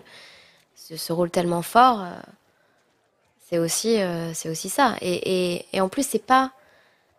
Je trouve que elle est vraiment là en tant que personne. Tu vois, c'est pas mis en avant. Ouais, c'est une fille, elle est badass et tout. Il Mm. n'y a pas ce- cette notion. Et ils l'ont. Ils le présentent juste comme un caractère, un personnage fort. Et voilà, on s'en fiche euh, qu'elle que soit une fille, euh, on s'en fiche qu'elle soit euh, gay. euh, Enfin, il n'y a pas de. Oui, c'est pas Voilà, un truc qui est brandi comme un argument de vente. Non, pas du tout. Voilà, c'est Et c'est ça, présenté comme normal. Vraiment extraordinaire. Il y a une question qui m'a un peu euh, interpellée Ah. par rapport aux accents et aux trucs comme ça. Euh, où en fait, euh, que c'était rare euh, que ce soit des natifs, euh, que c'était rare qu'on fasse des accents et tout, c'est vrai. Mais en effet, c'est qu'il n'y a pas les gens. Ouais. Il n'y a pas les gens pour faire ça. Demain, tu as, un casting à faire avec des gens qui ont des accents, mais c'est la, merde pour toi. En tant que, que directeur artistique, c'est vraiment horrible. Parce que il faut trouver des comédiens super aguerris qui peuvent faire du doublage et en plus qui ont un accent et qui ont la. Oui, ça reste Voilà. dans le champ de recherche. Et traficoter un accent, bah, c'est terrible. C'est terrible. Aujourd'hui, on peut plus faire ça. Euh, j'ai traficoté un accent, mais parce que c'est un pays qui n'existe pas euh, pour euh, League of Legends. J'ai Mm. fait Kiana. Donc je, fais un accent traficoté. Ouais. Nul, tu vois, c'est vraiment euh, pas génial, quoi. Je suis pas à l'aise avec ça. Donc, Ouais, bah ouais, je comprends. Euh, ouais, c'est une Bah question typiquement- importante, mais c'est vrai que ce serait bien qu'il y ait plus de gens. En fait, il faut qu'il y ait vraiment des gens qui entrent. Ouais, ouais, c'est ça. Mais, euh, mais c'est vrai que ça, je me dis, typiquement, ces genres de trucs, euh, euh, on devrait vous prévenir en amont, effectivement, de dire, ah bah, au fait, potentiellement, tu vas traficoter un accent. Enfin, Mais on prend des comédiens exprès pour ça. ouais. C'est-à-dire qu'on sait que lui, il sait faire tel accent. Elle, euh, elle est originaire de machin, donc on va les appeler exprès. Mm. Moi, par exemple, j'ai toujours dit, je suis nulle en accent comme je suis nulle en chant. Donc m'appelez pas pour ça. Mm. Personne des que tu m'appelle pas chanter euh, Me euh, dans... Non, mais, Non, mais euh, mais, mais Jean-Philippe voulait euh, que, que, que je m'entraîne et tout, mais moi j'étais ok, mais il fallait que, fallait que je bosse le truc. Ouais, bah oui, oui, tu m'étonnes. Mais j'aurais jamais été aussi bien que Ashley Johnson parce qu'elle, elle chante quoi. Moi je chante pas. C'est pas mon, c'est pas mon délire. Attends, déjà, t'as t'as mis euh, que t'acceptais de crier, et ça, je suis sûre qu'il y a plein de comédiens qui acceptent pas de le faire. Alors, qu'est-ce qu'on me dit sur la fille Strange? Il y a des gens, mais ouais, non, mais il y a plein de trop questions. Je suis désolée pour toutes les questions qu'on a loupées. Euh, Mais euh, Est-ce qu'on t'a pitché la série et euh, le background de Steph? Euh, En fait, il se trouve que mon, mon copain euh, était euh, plutôt fan de Life is Strange aussi. Bon, heureusement qu'il joue à plein de jeux vidéo. et euh, et euh, il m'avait euh, fait jouer, en fait, justement. Et c'est là que je me suis rendu compte que j'étais nulle. Vraiment. Parce que même sur Life is Strange 1, je n'arrivais pas à diriger le joystick. voilà. C'est une question Mais, euh, de stick analogique droit. C'est clair que j'ai l'impression que si t'as pas grandi avec ça, C'est ça. Bah ouais, mais lui, il est né avec une manette dans la main. Moi, je non quoi, pas du tout. Et euh, mais ouais, donc du coup, j'avais, j'ai pas eu besoin d'être pitché. J'avais déjà euh, les infos. euh, ouais, c'est ça. Au moins, Voilà. ça. Ouais. Et d'ailleurs, ouais, com- bah, comment tu découvres par la suite les jeux euh, dans, lesquels t'as- dans lesquels tu as fait des voix Tu regardes des let's play ou euh, tu joues avec des gens Je regarde les let's play, ouais. Ouais, Et pareil, euh, ouais, si mon si mon mec est ok pour jouer, je regarde. ouais c'est ça. mais- Voilà. Bah, Ça doit faire quelque chose, j'imagine, tu vois, d'avoir passé un certain temps. Je sais pas, The Last of Us 2, par exemple, ça représente combien de temps en, en termes d'enregistrement? Je peux pas dire exactement. Alors déjà, non seulement j'ai de la confidentialité sur ce sur Oui. les sur comment c'est passé, machin, donc je peux pas Mm. non plus trop raconter. Bien sûr. Euh, mais euh, ça ça prend vraiment beaucoup de temps. Voilà, ouais, beaucoup de bah, temps. Euh, je peux même pas, même moi j'ai pas compté. des je peux pas te dire. ouais. Je peux Ouais. pas te dire, j'ai pas compté euh, parce que ça se passe sur des grandes périodes où en fait j'enregistre une fois de temps en temps. Donc j'enregistre une fois tous les 15 jours, une fois toutes les semaines, un truc comme ça. Je fais des grosses sessions et ça, ça prend plusieurs sessions. Donc je peux même pas répondre. En fait, même si j'avais la réponse à cette question, je pourrais pas la C'est dire. trop dur de quantifier, ouais. C'est dur de quantifier, mais c'est très long. Voilà, c'est un Ouais. gros investissement. Euh, et euh, moi, à chaque fois, je savourais ces séances. Euh, Je voulais, euh, tu vois, que tout soit parfait. Enfin, on a, on a bossé comme des malades. Et, et j'ai découvert toute l'histoire après en let's play. Ouais. Ouais, c'est ça. Mm. Mais est-ce que ça t'est arrivé d'avoir des surprises? Enfin, je veux dire que t'es quand même euh, excessivement briefé, euh, j'imagine, donc au moment où, où tu doubles, mais d'avoir des Mhm. surprises sur des moments où t'avais pas trop de contexte et une fois que tu le vois en jeu, tu Ouais. dis ah ouais, ça se passe comme ça. Ouais, euh, pas trop sur le The Last of Us, puisque comme je te disais, j'avais vraiment euh, des infos. Mais mais j'avais pas tout. C'est clair, j'avais pas tout. Donc moi, j'ai vraiment, je, je découvre déjà tout l'environnement terminé. Ouais, c'est ça. Sur Life is Strange, c'est ça. C'est-à-dire que j'ai découvert le- le- la ville et tout, et j'avais pas vu, en vrai. Oui, d'ailleurs, elle est magnifique, euh, la ville trop de beau. Springs. Ouais, Parce que même si j'ai vu des trucs, en fait, c'est jamais les images def. C'est jamais avec tous les effets, avec euh, la brillance, avec euh, les petits trucs, euh, voilà, tu vois, les petits flocons et tout, machin. C'est Pas ça. ça. Et de la neige qui fait ployer les branches. incroyable, mais c'est tellement beau. Moi, je me rappelle, j'avais vu ça, je mais ils ont, ils ont, ils sont hallucinants, quoi. Ce qu'ils ont fait à la Naughty Dog, c'est incroyable. Techniquement, c'est bon. Je suis assez fan. Euh, D'ailleurs, je vais tracer cette scène pour qu'on arrive vite fait à une scène d'Ellie. Et euh, j'ai vu aussi un truc. euh, on me disait combien de voix je peux faire. Je sais pas, j'ai jamais compté. Alors vas-y, Parce que. on compte. Ouais, mais non, mais ce que je regardais, je suis sûre qu'en plus, il y a peut-être pas potentiellement tout sur, euh, sur, euh, sur ta page Wikipédia, quoi. J'imagine Euh, non, d'ailleurs, petits faudrait que je fasse le ménage dessus parce qu'il y a des trucs parfois, euh, les gens ajoutent des trucs. Ouais. Mais euh, je peux, en fait, je peux pas quantifier, je peux pas dire oui, bonjour, je suis Adeline Chotaille, euh, je fais 50 voix différentes, voilà mon ouais, talent. c'est ça. C'est pas trop ça. Parce qu'en fait, je vais faire, je vais créer quelque chose à chaque personnage. Et même parfois, selon ce que vit le personnage, il peut se transformer. Par exemple, Ellie. Euh, la grande question, c'était de savoir est-ce que je vais la refaire, sachant qu'il y a 7 ans d'écart entre. euh, Oui. ou 5. Euh, a- elle a 13, c'est 14 quatre ans. après, je crois. C'est 4 ans plus tard. Ouais. Mais en tout, je crois qu'il y a 7 ans qui se passent. Je sais Mais c'est ça, en plus, après, il y a d'autres euh, passages. Et il y a différents stades. Mm, Et c'est là, vrai. dans, partout, tu la revois quand elle est quand- juste, juste après le The Last of Us. Donc tu la vois à 14 ans. Tu la vois aussi à certains moments avec Joël euh, entre. Ouais, c'est ça. Tu la vois à la fin, euh, après Ouais. tout ce qui s'est passé. Et à chaque fois, c'est différent parce que selon ce qui s'est passé dans sa vie, elle va s'exprimer d'une manière différente. Oui, c'est ça. Du coup, Donc, toi, tu t'adaptes un peu. Tu vois, je peux dire, par exemple, pour Ellie, je peux dire il y a 4 ou 5 voix. Ouais.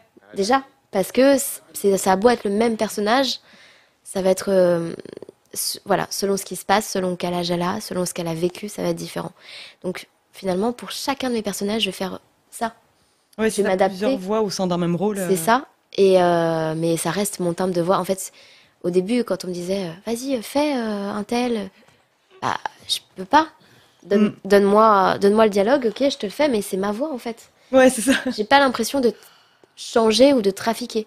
Mm. Sur Ellie, oui, euh, parce que il y a des moments où, tout ce qui se passe est tellement grave que justement elle est archée dans les graves Oui, oui, c'est et clair. ça plombe et tout est tout descend. Mais c'est un ressenti, c'est pas. Je suis pas en train d'imiter la voix d'Ashley Johnson en fait. Ouais, je suis en train ça de- reste ta voix, euh, tu Voilà. as compris le truc et tout. euh, Ouais. Ouais, normal. D'où le d'où le- la notion de comédien. Bah, est-ce que travailler sur l'épisode 1 vous garantit de travailler Oui. sur l'épisode 2 C'est une bonne question. Très. Eh ben non, c'était pas sûr. Ah ouais, c'était pas sûr. Bah oui, bah, ce que tu disais, vu Voilà. qu'elle est pas euh, plus sûr. vieille, etc. Euh, après, Naughty Dog, ils ont pas demandé en soi, mais avec Jean-Philippe, on a fait euh, de nous-mêmes. En fait, c'est lui, enfin c'est lui, il m'a dit, écoute, est-ce que tu es ok pour euh, enregistrer une scène? Comme Ouais. ça, on leur envoie direct et ils savent que c'est ok. D'accord. Euh, parce que lui, il voulait absolument que ce soit moi et il voulait pas Ouais. changer et il était pas d'accord. Voilà, il voulait vraiment. Donc, on a enregistré une scène. euh, qui, et j'ai été validée, mais c'était pas sûr. Ouais, je crois que dans tous les autres pays, quoi. ils ont changé. D'accord, ok. Mm. Ah ouais, j'avais pas du tout conscience de ça. C'est- Mm. Et bah pareil euh, pour euh, les gens, j'ai vu que les gens se posaient un peu la question par rapport à l'adaptation en série qu'il va y avoir de The Last of Us. Ouais. Ou toi, tu bah pareil, enfin, pas. Gros débat, c'est un gros débat. Euh, Parce que beaucoup de personnes ont envie, Ouais, en fait, vraiment beaucoup de gens ont envie de revivre le truc avec nos voix. ouais. Ils- mais personnellement, je suis pas archi d'accord avec ça, dans le sens où tu as vécu The Last of Us euh, quand il est sorti en 2013, tu pourras jamais le revivre. Ouais. C'est dans ton passé, c'est un moment de ta vie. comme euh, nous tous. Mm. Tu, voilà, tu peux pas euh, re- te replonger dedans exactement. Et ce qui est intéressant, c'est que c'est d'autres comédiens qui interprètent les rôles. Ouais. Comme euh, une pièce de théâtre, quand on joue un Shakespeare, on va pas dire.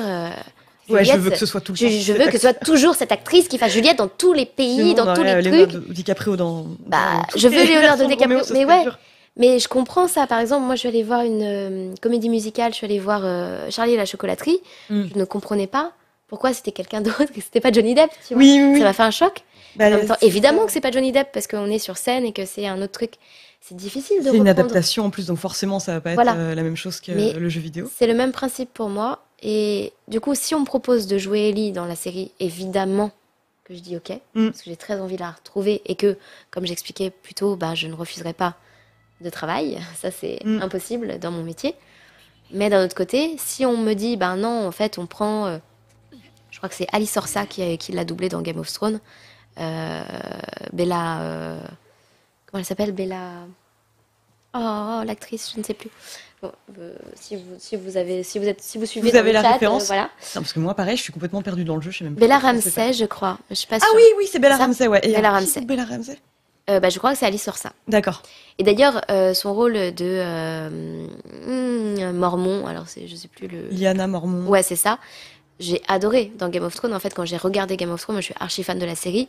Je me suis dit, mais putain, mais j'aurais aimé faire ce personnage. Tu Mm. vois, c'est marrant. Mais je l'ai pas fait. Ça aurait été drôle que je le fasse, mais je l'ai pas fait. Et, euh, et je trouve ça intéressant que ce soit cette comédienne. Euh, En plus, Alice, je la trouve extraordinaire. Euh, c'est elle qui a fait euh, dans Your Name. Ah, Le elle fait. ouais. Tu vois, donc Ouais, ouais, ouais, voilà, elle est, elle est au top. Et voilà, donc je serai pas triste. Mais peut-être que quand la série sortira, je la regarderai premièrement en VO parce que je voudrais me détacher, je pense, de, de tout euh, Oui. jugement. euh, voilà, parce que j'ai une déformation professionnelle, forcément, quand je regarde les VF, c'est un peu insupportable. Bah ouais, ouais, tu m'étonnes. Du coup, euh, peut-être que je regarderai en VO, mais pas parce que je serais deg, juste pour pas y penser sur le coup et me plonger dans le truc. J'en attends beaucoup de cette série. Je suis même limite perso un peu déçue que ce soit qu'ils refassent. J'ai l'impression qu'ils vont refaire, tu vois, le. Ah ouais, je me rappelle d'avoir Je suis persuadée que je vais, me faire, euh, je vais me taper un gros jumpscare, du coup, je, je suis désolée. Non. Je me suis arrêtée deux secondes. Mais c'est sûr, là, il va falloir que je bute des gens. Oh oui, c'est plus tard, c'est plus tard. Bah lui, forcément. Mais euh, bah, après, c'est vrai que bah, on en parlait par rapport à la reconnaissance euh, des comédiens de doublage. C'est Mm. c'est vrai que de plus en plus, là, enfin, bon, le premier exemple qui me vient en tête, ça va être South Park, où c'est les gens voulaient absolument euh, les doubleurs officiels en fait des personnages. Quoi, c'est euh, il y a ce Mm, truc mm. pareil. J'ai l'impression qu'en tout cas, il y, a quand même beaucoup de gens en fait qui sont en attente de doublage, Ouais. qui ont des voix identifiées à certains types de Parce que ça personnages. leur rappelle aussi et Mm. qu'ils ont besoin. Mais South Park, c'est différent. Oui, parce que c'est ça, c'est de l'animation C'est et de l'animation. euh, Donc ouais. évidemment que tu peux prendre le même comédien. Euh, pareil, on peut comparer avec. je euh, bloquée Ah non, ça se cadavre bloqué. Ah oui, non, d'accord, j'avais pas vu. En fait, j'ai mis le bras du micro qui me cache la touche. Ah. Absolument pas parce que je suis nulle. non. En plus, on t'avait promis, vas-y, une vraie pro gameuse, comme ça t'auras pas à toucher la manette, tout va bien. Trop bien. Euh, oui, je parlais de, de Donald Renew pour, euh, Oui. pour, euh, Spider-Man, par exemple. Bah, c'est trop top. Mais c'est vrai que. Je sais pas, moi je trouve pas ça intéressant forcément que ce Déjà que c'est ref- si, si on refait à l'identique. Moi je sais pas. Oui, Faut voir. Ce sera, euh, ce sera la production, euh, au directeur artistique euh, ou directrice artistique qui aura ça en main. euh, on, on verra. On verra. J'étais en train de t'écouter, je n'étais absolument pas en train de Ah me concentrer sur ce combat. Vas-y, bute-le. Allez, crève Laisse-moi faire mon interview Quand est-ce que j'ai eu l'idée de faire euh, des interviews en même temps que je joue n'importe quoi, Je sais toi, n'importe quoi, c'est trop dur. Je sais pas comment faire. Oh la vache Est-ce que tu apprécies Abby? Bah figure-toi que oui. Moi j'aime beaucoup le personnage d'Abby. C'est un personnage que je trouve très intéressant aussi.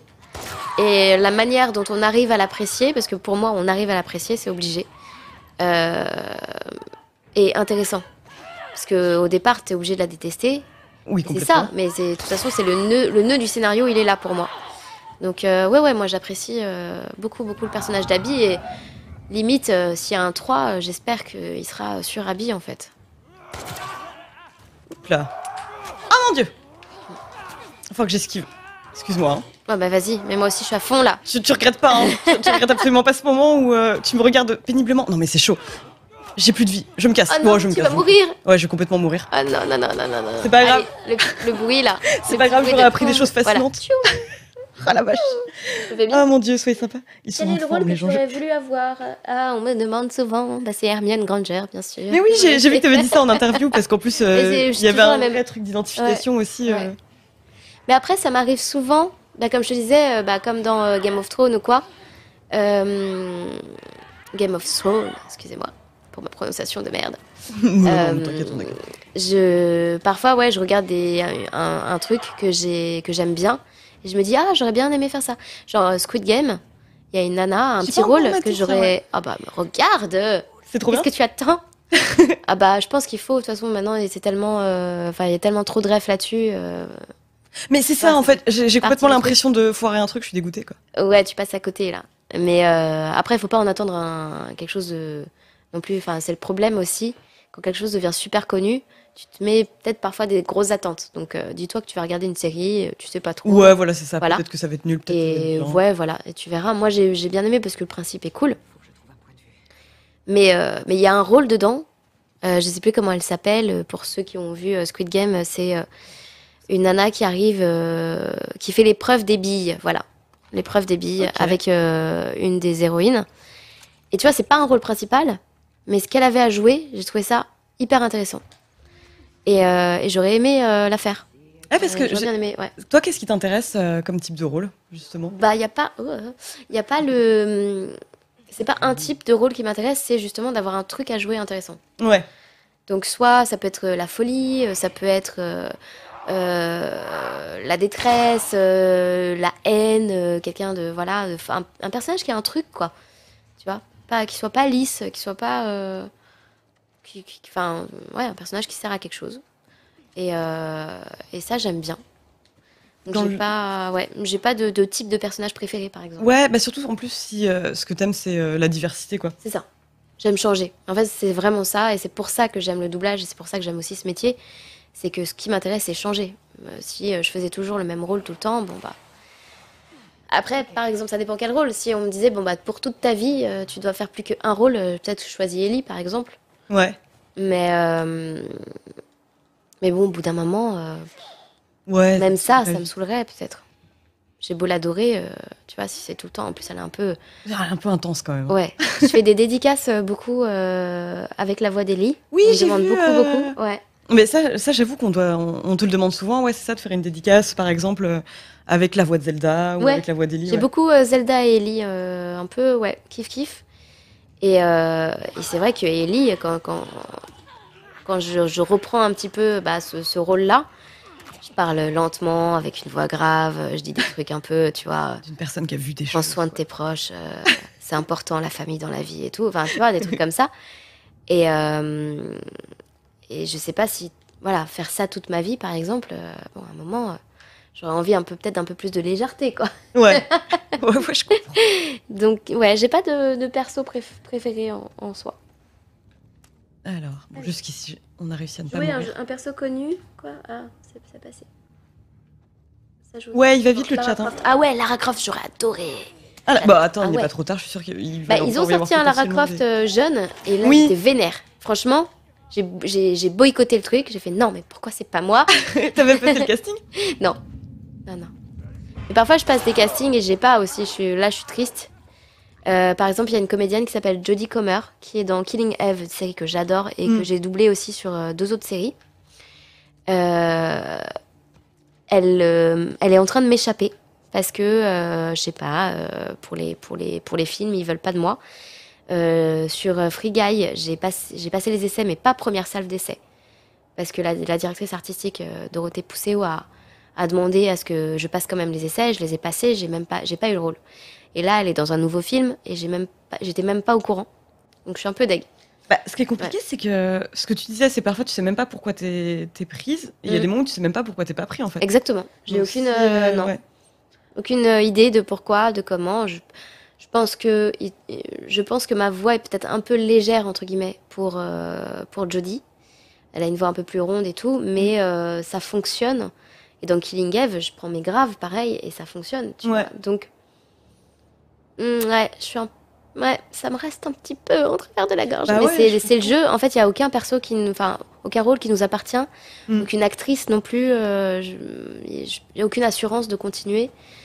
Euh, même dans une série, euh, au final, tu peux être remplacé. Hein, euh, S'ils en ont marre de toi. Mais c'est ça, ouais, en fait, le fait de se dire que, bah oui, c'est arrivé Mm. beaucoup dans le jeu vidéo et tout, quoi. Mais euh, mm, mm. c'est vrai que moi, naïvement, je pensais qu'effectivement, euh, euh, avoir fait euh, la voix d'un personnage, euh, d'un des persos principaux, ça te garantissait une, ça te garantissait un- le rôle par la suite, mais en fait, pas Non. du tout, quoi. Ah non.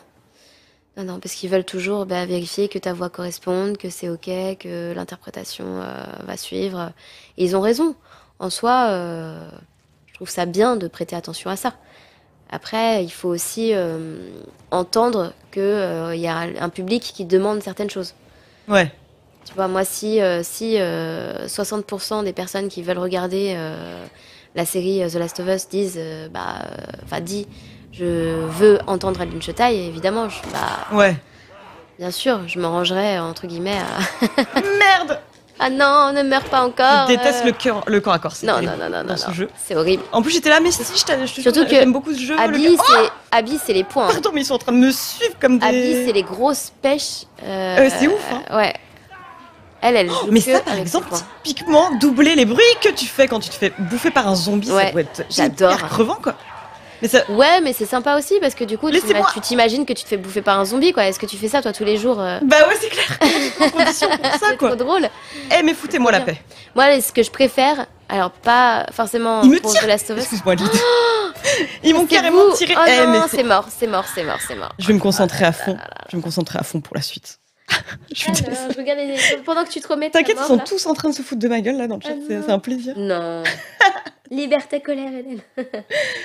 Attends, j'arrive même pas à lire, ça va trop vite. Mais oui, Est-ce qu'il y a une place à ta liberté d'interprétation? C'est intéressant comme. Ah, j'ai sans forcément coller à l'original. Oui, c'est vrai. pas d'improvisation. Euh, ça dépend dans quoi. Euh, genre Nintendo, euh, pas, pas, pas de ouf. Bah, c'est c'est vrai que j'imagine que ça doit être assez verrouillé quand même. Mais, bah justement, pour Zelda, moi j'ai pris certaines libertés en accord avec tout le monde hein, euh, sur l'interprétation. Parce que quand tu fais, quand écoutes le japonais et quand tu m'écoutes moi, il y a des choses que j'ai fait vraiment différemment. Ouais, c'est vrai que j'ai pas du tout écouté la Euh, version japonaise. Bah, c'est intéressant, français la comparaison est intéressante. Et, euh, et je, bah alors, je, je, je vais pas, je, je veux pas critiquer le japonais parce que pour moi, de toute façon, les japonais ils sont au-dessus de tout, surtout au niveau doublage. Mais pour le coup, la voix de Zelda, moi, je suis pas, je, j'aurais pas fait exactement comme a fait la comédienne. Voilà, Dac, je vois. simplement. Euh, Il y, a des- il y a des trucs qui sont un tout petit peu, tu sens que c'est un tout petit peu forcé, tu sens que c'est un petit peu trop poussé. Plus cabotin. Euh, et ça sert pas le, le truc. Par exemple, il y a une scène de pleurs à un moment donné qui, moi, me met des frissons, me fait pleurer à chaque fois. Je crois que je vois. ouais. Euh, où je pleure aussi. euh, voilà, mon personnage pleure, euh, et moi je pleure, et voilà, c'est atroce. Et cette scène-là en japonais, j'ai commencé à la regarder, je commençais à pleurer. Et tout d'un coup, à la fin, elle craque complètement et elle commence à vraiment euh, pleurer, tu vois, à pleurer, à faire des longs gémissements, des longs pleurs. Ouais. Et à ce moment-là, elle, en japonais, elle fait quelque chose d'un peu étrange. Et là, ça te sort du truc. Ouais. Tu fais, euh, attends, euh, non. Et je me suis dit, je peux, il faut pas que je la suive là-dessus, parce que si je fais exactement pareil, ça va faire le même effet, Ouais. et personne va pleurer. Moi, je veux que les gens pleurent. bah ouais, je suis horrible. Non, non, mais je Mais vois. ça. C'est une scène qui est censée Quand, émouvoir. quand le euh, jeu est sorti, et quand j'attends toujours une petite semaine avant d'avoir les retours, parce qu'il faut que les gens euh, aient le temps au moins d'arriver à ce moment-là. Et euh, quand le jeu est sorti, bon, le premier truc que je voulais savoir, c'est est-ce que tu as pleuré? Est-ce que, à cette scène-là, dis-moi, s'il te plaît, que tu as eu au moins un, un petit Un frisson, un petit une larmichette, un quoi. truc, une larmichette, parce que c'était mon but. Mm. Quand j'ai vu la scène, je me suis dit, ok, moi je pleure, il faut que je transmette cette émotion, il faut que tout le monde pleure là. Et, euh, Ouais, je vois. et, et le, le un, plus, un des plus beaux compliments qu'on m'ait fait d'ailleurs par rapport à ça, c'est avant même la sortie du jeu, j'ai eu euh, des retours de, de Nintendo parce qu'ils ont regardé euh, les scènes et tout ça, ils ont vérifié un peu. Et euh, bon, après, c'était peut-être en plein burn-out, je sais rien. Mais ils m'ont dit qu'ils avaient tous pleuré. C'est vrai. là, ils m'ont appelé pour me dire Adeline, c'est ok, ils ont tous pleuré. C'est bon, j'étais trop les japonais. contente. Mais j'étais trop contente. Non, le euh, Nintendo, Nintendo France. Ouais, j'ai fait. Bon, bah, Au moins, j'ai fait pleurer Nintendo France. Oui, parce que je me dis, Voilà. peut-être en plus, au-delà d'une voix. Ah, t'es de retour, t'es de retour. Ah, sur mon cheval. T'es de retour et en plus, cheval, a priori, je vais pas me faire euh, déchiqueter devant tout le monde, ce sera un peu moins. Non, long. là, c'est cool. Désolée pour ce que je viens de Ouais. t'infliger. Non, t'inquiète. Et ce que je trouve intéressant, d'ailleurs, petit aparté, ce que je trouve intéressant dans The Last of Us, que ce soit le premier ou partout, euh, c'est euh, qu'il y a des dialogues qui se passent aussi pendant euh, ce genre de scène. Oui, ils, ils se disent des choses importantes. Importantes, pardon. Voilà. c'est ça. Ouais, il y a des dialogues de- importants et voilà. Qui- Il y a vraiment des échanges, Comment ça se fait qu'on en ait jamais parlé avant par exemple, tu vois. Mm. Ah oui, des trucs Ça, très c'est importants c'est très important, c'est intéressant. ouais. ouais, ouais. Toute l'histoire sur son Ouais. ex et tout, c'est vrai que c'est. Il n'y a pas grand chose à dire. Quand tu dis que tu écoutes si possible la VO pour ton travail, ça sous-entend que les doubleurs originaux sont mieux dirigés parce qu'ils ils sont ont pas mieux lotis, ça pourrait te donner une... un- Non. Alors, euh, ça dépend sur quoi, mais de manière générale, bien sûr qu'en original, ils sont mieux lotis, puisque ils ont le temps de tourner, par exemple. Ouais. Si c'est en doublage, ils ont eu le scénario, ils ont travaillé leur rôle, ils ont appris leur texte par cœur. Il y a un travail en amont, donc forcément, ils ont pris plus de temps pour tourner aussi. Pour donner un ordre d'idée, un tournage d'un épisode de 40 minutes, je pense que ça prend au moins deux semaines, un truc comme ça. Ouais. Nous, on fait ça en une journée. Ouais, c'est ça. mais en une heure. l'impression que vous 40 traversez, minutes sur un épisode, je fais ça en une heure. Ouais. Euh, deux, si vraiment je parle tout le temps. Donc ça n'a rien à voir. Mm. Euh, en jeu vidéo, bah, là, dans, dans, dans ce contexte-là, c'est du euh, motion capture. Donc ils ont tourné, en fait. Ouais. Tu vois, Oui, tous les c'est ça. trucs, Ils ont eu le temps, effectivement. tout- de toute cette gestuelle, euh, tu montes, tu descends de cheval, euh, toutes les scènes et tout, c'est du motion capture. Donc ça a été tourné comme dans un film.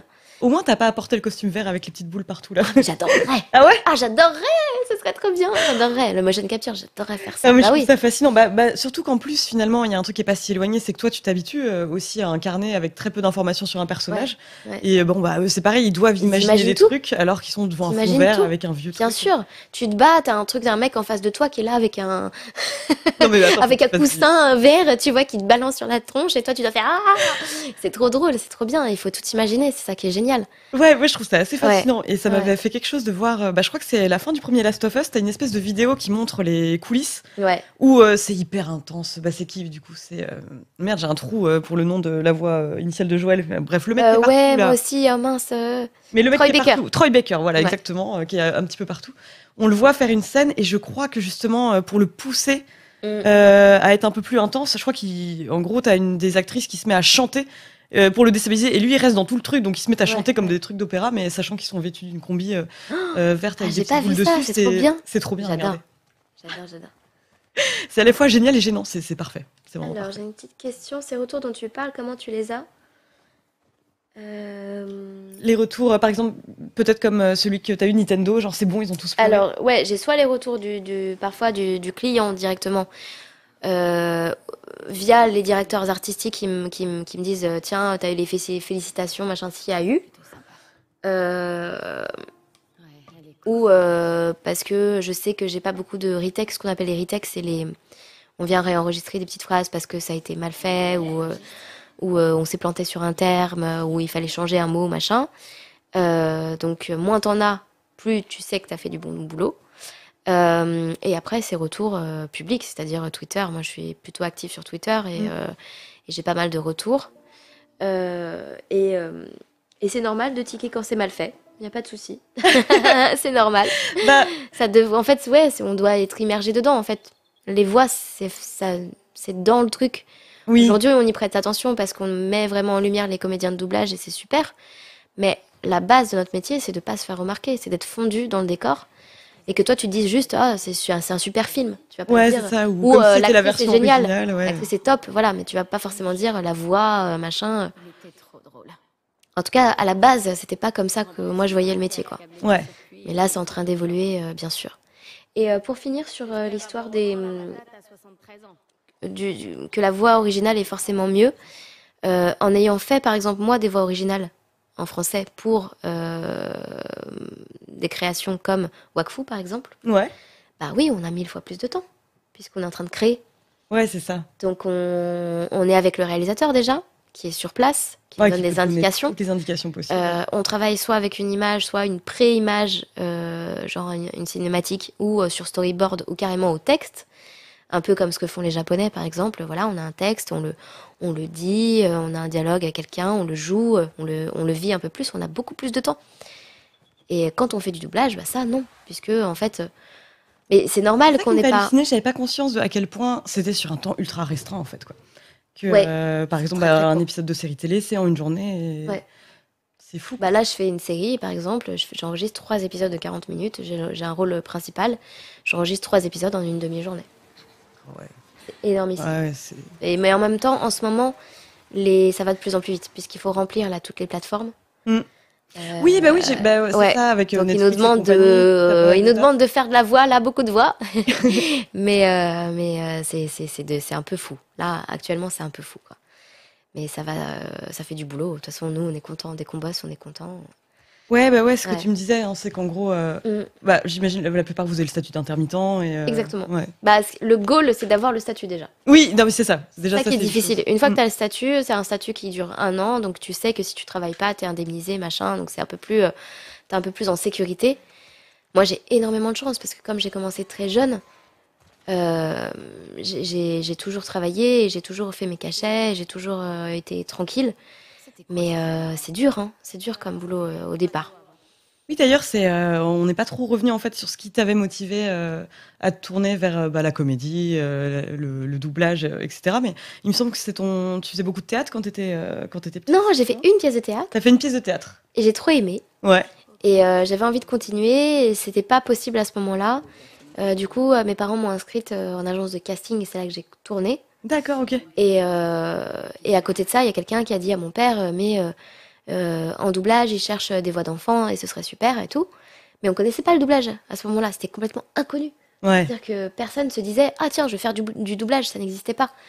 On, on, on se, c'était pas un plan de carrière quoi. C'était même Oui. un peu. euh, Faut savoir que ça existe déjà, ouais. Pour... Ouais, déjà, ça, ouais, ça existait vraiment. personne ne comprenait ce que c'était. Et puis, dans le milieu même des comédiens, c'était euh, mal vu de ouf. C'était l'horreur euh, de, de faire de la synchro, quoi. Ah ouais? Disait- ouais, ouais. C'était considéré comme le truc. Moi, euh, mon, mon, la- mon agent de casting m'a dit euh, Tu dis pas que tu fais ça. D'accord. Tu vas en casting, tu dis pas que tu fais ça surtout. Ah ouais, à ce point Ouais. quoi. Ouais, Et ça, ça, ça, ça a évolué quand même un peu. hein. bah, Même contraire. Maintenant, tout le Ouais. monde veut en faire. Mais c'est comme, euh, comme les séries télé fut un temps, quoi. C'est les acteurs, c'était la honte de- d'être Ouais. dans des séries télé. Là, etc. maintenant, c'est devenu- incroyable. Ouais, c'est ça. Ouais. Ah, mais ça, tu dirais que ça a changé à peu près à quel moment La considération que les gens pouvaient avoir sur le métier euh, de comédien Euh, je pense il y a une dizaine d'années, ça a commencé à évoluer avec les Star Talents sur, les, sur euh, des films d'animation. Euh, je sais aussi que euh, Voilà la ville. euh, Véronique euh, et Philippe Pétieux, euh, Véronique Augereau et Philippe Pétieux qui faisaient, qui faisaient les Simpsons et qui font toujours les Simpsons d'ailleurs, euh, avaient été invités aussi, ont été mis en lumière sur des plateaux télé ou des trucs comme ça. Hmm. Et euh, ça avait vachement hypé les gens et, et ça avait bien fonctionné. Et, euh, et puis voilà, quand, quand il y a des Star Talents sur euh, du film d'animation et que tu as une interview après où il dit j'ai fait la voix, c'était vachement dur et tout, bah voilà, ça donne un peu, ça redore un petit peu ce métier. Ouais. Et, et voilà, ça s'est fait peu à peu. Et puis maintenant, avec les réseaux sociaux, bah, tous, tous les phénomènes de, de dédicaces audio et tout ça, c'est trop, trop mignon, quoi. En fait, c'est les- là, actuellement, les gens ont envie d'entendre les voix qu'ils aiment, quoi. Ouais, c'est ça. Mm. Non, puis je voyais aussi bah, que. D'ailleurs, j'ai vu quelqu'un passer qui disait Eh, je t'ai vu en convention et tout, etc. Ah ouais ouais, Ah que- mince, j'ai pas vu Mais oui, il a pris une photo Ah, avec toi. Ah, désolé. Bah, euh, coucou Il y a beaucoup de gens, au passage, euh, j'ai vu qu'ils faisaient des, euh, qui présentaient toutes euh, leurs félicitations pour le doublage de Ah. The Last of Us. Merci, merci, merci, merci beaucoup. C'est incroyable comme, euh, comme Et quelqu'un demande Est-ce que tu es une grande consommatrice de séries, films, jeux vidéo, même ceux. Ouais. Euh, ceux jeux vidéo, euh, jeux vidéo, je suis par. euh, ah, t'as pas eu le temps de voir Euh, non, non, euh, même les jeux euh, dans pour lesquels t'as pas bossé, quoi. C'est vrai que les jeux, tu Euh, disais, euh, ouais. t'aimes bien regarder les gens jouer. Ouais, ouais, ouais. Bah, en fait, je regarde mon mec jouer, donc j'aime bien aussi. Euh, Parfois, on fait vraiment des jeux. Bah, Resident Evil, par exemple, on a fait euh, tous les Resident Evil. Mais en euh. plus, t'avais doublé un perso dans Révélation. Ah oui, Euh, mais celui-là, je l'ai pas fait, par contre, on l'a pas fait ensemble. On Ouais, a fait Moira, Moira, ouais. ouais c'est ça. Ouais. Euh, Non, on a fait Resident Evil 7 et bah, le dernier, c'est le 8, c'est ça hein? Ouais. Ouais, c'est ça. Donc ça, euh, on a fait. Bah, où il y avait Euh, d'ailleurs euh, Dorothée Pousséo dont. Ouais, dont génial. parlais, ouais. Génial. Elle a un petit rôle, hein. Elle a pas euh, un gros personnage, mais il est trop fort. Enfin, j'ai bien aimé. Les trois sœurs, là. Ouais, c'est les ça. trois sœurs.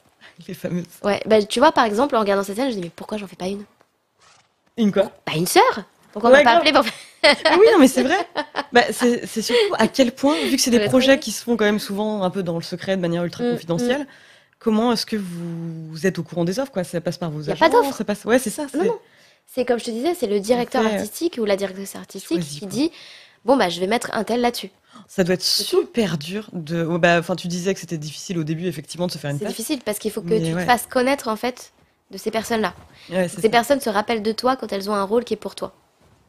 Donc, pour qu'elles se rappellent de toi, il faut qu'elles t'aient vu il y a pas longtemps. Ouais, et que tu été identifié d'une manière ou d'une autre. Voilà, ou que tu l'aies marqué, ou que tu aies fait un truc euh, voilà, spécial, et elle va se dire Ah, mais oui, c'est vrai, telle personne, machin. Ou alors elle va demander euh, autour d'elle, euh, va dire Bon, euh, j'ai un rôle un peu comme ci, comme ça, qu'est-ce que t'en penses, qui je pourrais caster? On a aussi une base de données sur, qui s'appelle RS Doublage, où chacun a un petit extrait de voix, et puis tous les rôles qu'on a pu faire. Mm. Donc par exemple, si tu as une comédienne qui revient, euh, la personne qui fait la recherche peut dire Ah tiens, telle comédienne a été doublée par une telle, je vais essayer, euh, très bien. Voilà, mais c'est tout.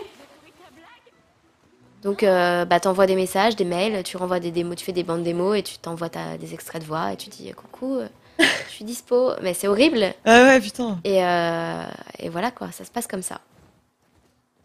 Et t'as des souvenirs euh, de scènes, en tout cas, que t'as particulièrement aimé euh, doubler bah, dans The Last of Us 2 Ah bah la scène euh, du, j'allais dire du zoo, c'est pas vraiment un zoo, du musée, Oh là là, je l'adore, celle-là. l'anniversaire au musée. Oh là là, mais celle-là, elle m'a tellement fait pleurer. Elle est vraiment trop bien. Je l'ai revu il y a pas longtemps parce qu'un mec m'a demandé une dédicace pour sa nana. Ça faisait six ans qu'ils étaient ensemble. Il voulait faire une surprise. Ils n'étaient pas ensemble ce jour-là. Il a dit, je vais faire un. Il m'a dit, je vais faire un montage et euh, je vais mettre ta voix. Et en fait, il met la voix au moment où euh, où euh, la fusée décolle. Oui. Donc t'as euh, tout le truc et après t'as une musique qui commence où là tu pleures. hein. Mm. Ah bah complètement. Et donc euh, là, il a mis mon message où je dis euh, ton, ton, ton mec m'a dit que c'était vos 6 ans et tout, félicitations, machin Oh. et tout. Et il m'a envoyé le montage. J'ai chialé. Mais Ah ouais J'ai chialé en voyant le truc. J'étais là, oh purée. c'est beaucoup trop mignon de faire ça. Oh, oui. T'as les yeux un peu brillants. Bah oui, mais parce que honnêtement, je repense à la scène. Ouais, je Ouais. repense à cette scène que je trouve Ouais. vraiment trop bien. Quoi. Ouais. Ah non, mais vraiment. Bah là, tu as, franchement, tu me la mets là, je pleure, c'est sûr. Ah ouais, non mais là on va pas la Mais, voir. euh, Là t'inquiète, c'est bon. Non, non, mais c'est pas là, de on, toute façon. on va séparer ça. Mais c'est Euh, dur, ouais. La qualité d'un doublage dépend beaucoup du directeur artistique. En fait, ça dépend entièrement du directeur artistique parce que c'est son casting. Si il fait un casting pourri, euh, c'est pourri. Mais euh, après, il y a deux facteurs en fait pour qu'une VF soit. Enfin, il y a trois facteurs pour moi pour qu'une VF soit bonne. Il y a le facteur temps.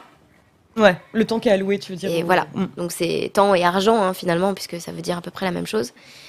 Euh, si t'as pas le temps, tu peux pas faire un truc bien. C'est obligé. Ouais. Même t'as as les meilleurs comédiens du monde, t'as euh, enfin tout ce que tu veux. Bah si t'as pas le temps d'écouter la scène, de la réécouter et de faire des corrections et de faire des petits trucs, Mm. c'est mort. T'auras pas une bonne VF. Donc ça c'est le premier facteur. Deuxième, le casting, en effet. Euh, parce que si tu prends que des gens euh, qui jouent mal la comédie, ben ça s'entend. Oui. Et après, bah, bah, non, ça c'est pareil, donc deux facteurs. Parce que j'allais dire les comédiens en eux-mêmes. Euh, mais non, puisque c'est le casting qui fait que le comédien va assurer normalement. Moi, si je suis castée sur un rôle qui me correspond pas, je suis mal à l'aise, par exemple. Ouais, bah oui. Je peux être, euh, entre guillemets, bonne comédienne, peut-être, mais si euh, le rôle me correspond pas, Mm. bah, je vais faire de la merde. euh. Bah, bah ouais, ça va être ridicule.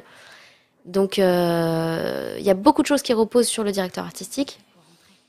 Et notamment, justement, même, même le temps, finalement, parce que lui, on lui dit, écoute, tu dois faire ce film en trois jours. C'est à lui de dire, non, les gars. Impossible. Ouais, ouais, oui, c'est ça. Je, Donc finalement, voilà, Ou c'est ça va être c'est- juste c'est nul lui le que- rempart de dire, bah non, moi je fais pas ça. Euh, c'est pas comme ça que je travaille. euh, désolé, euh, voilà. Donc euh, c'est c'est pas euh, c'est pas les comédiens qui font la bonne VF en fait. Ouais. C'est vraiment euh, les directeurs artistiques, ouais. Bah, c'est peut-être beaucoup aussi de dans la manière de vous diriger pendant les sessions d'enregistrement, j'imagine aussi, quoi. Est-ce que le doublage a déjà été arrêté en plein tournage parce que le directeur a trouvé que ça ne collait pas? Oui. Ah ouais? Ouais. Mais Alors, genre. euh, euh, ah ouais, Pas moi personnellement, mais Ouais. euh, j'ai une histoire comme ça un peu bizarre. C'est sur un, un téléfilm, hein, Mm. c'est pas un gros truc, mais quand même. C'était sur un téléfilm, genre M6 ou TF1, j'en sais rien. Et euh, je passe un casting. Et le jour où je passe ce casting, il y a une nana dans le couloir. Donc c'était à l'époque où on pouvait en- encore entrer. Ouais, ouais. Tu vois, là on peut pas entrer. Euh, une nana dans le couloir qui me fait ouais salut, tu fais, tu passes un casting là et tout, machin. Puis je me dis ah bah ça se trouve elle est sur le casting, moi je la connais pas, mais euh, je lui donne les infos. Je lui dis oui, je suis avec euh, machin, c'est sur tel plateau. Et en fait elle n'était pas du tout prévue au casting. Mm. Elle est allée voir la fille de la production, je crois. Elle a dit euh, bah voilà je me présente, machin. Enfin je sais pas ce qu'elle a, comment elle a fait son truc.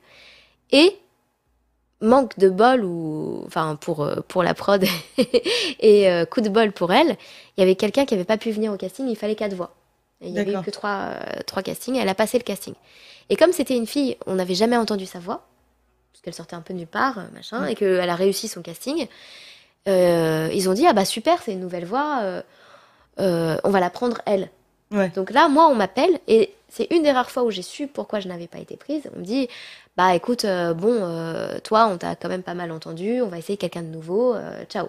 Ah oui, d'accord. bon. Ok, un peu rude quand même. Et je sens le truc un peu bizarre et je me dis, mais cette nana, elle était bizarre et tout. J'ai senti que c'était très.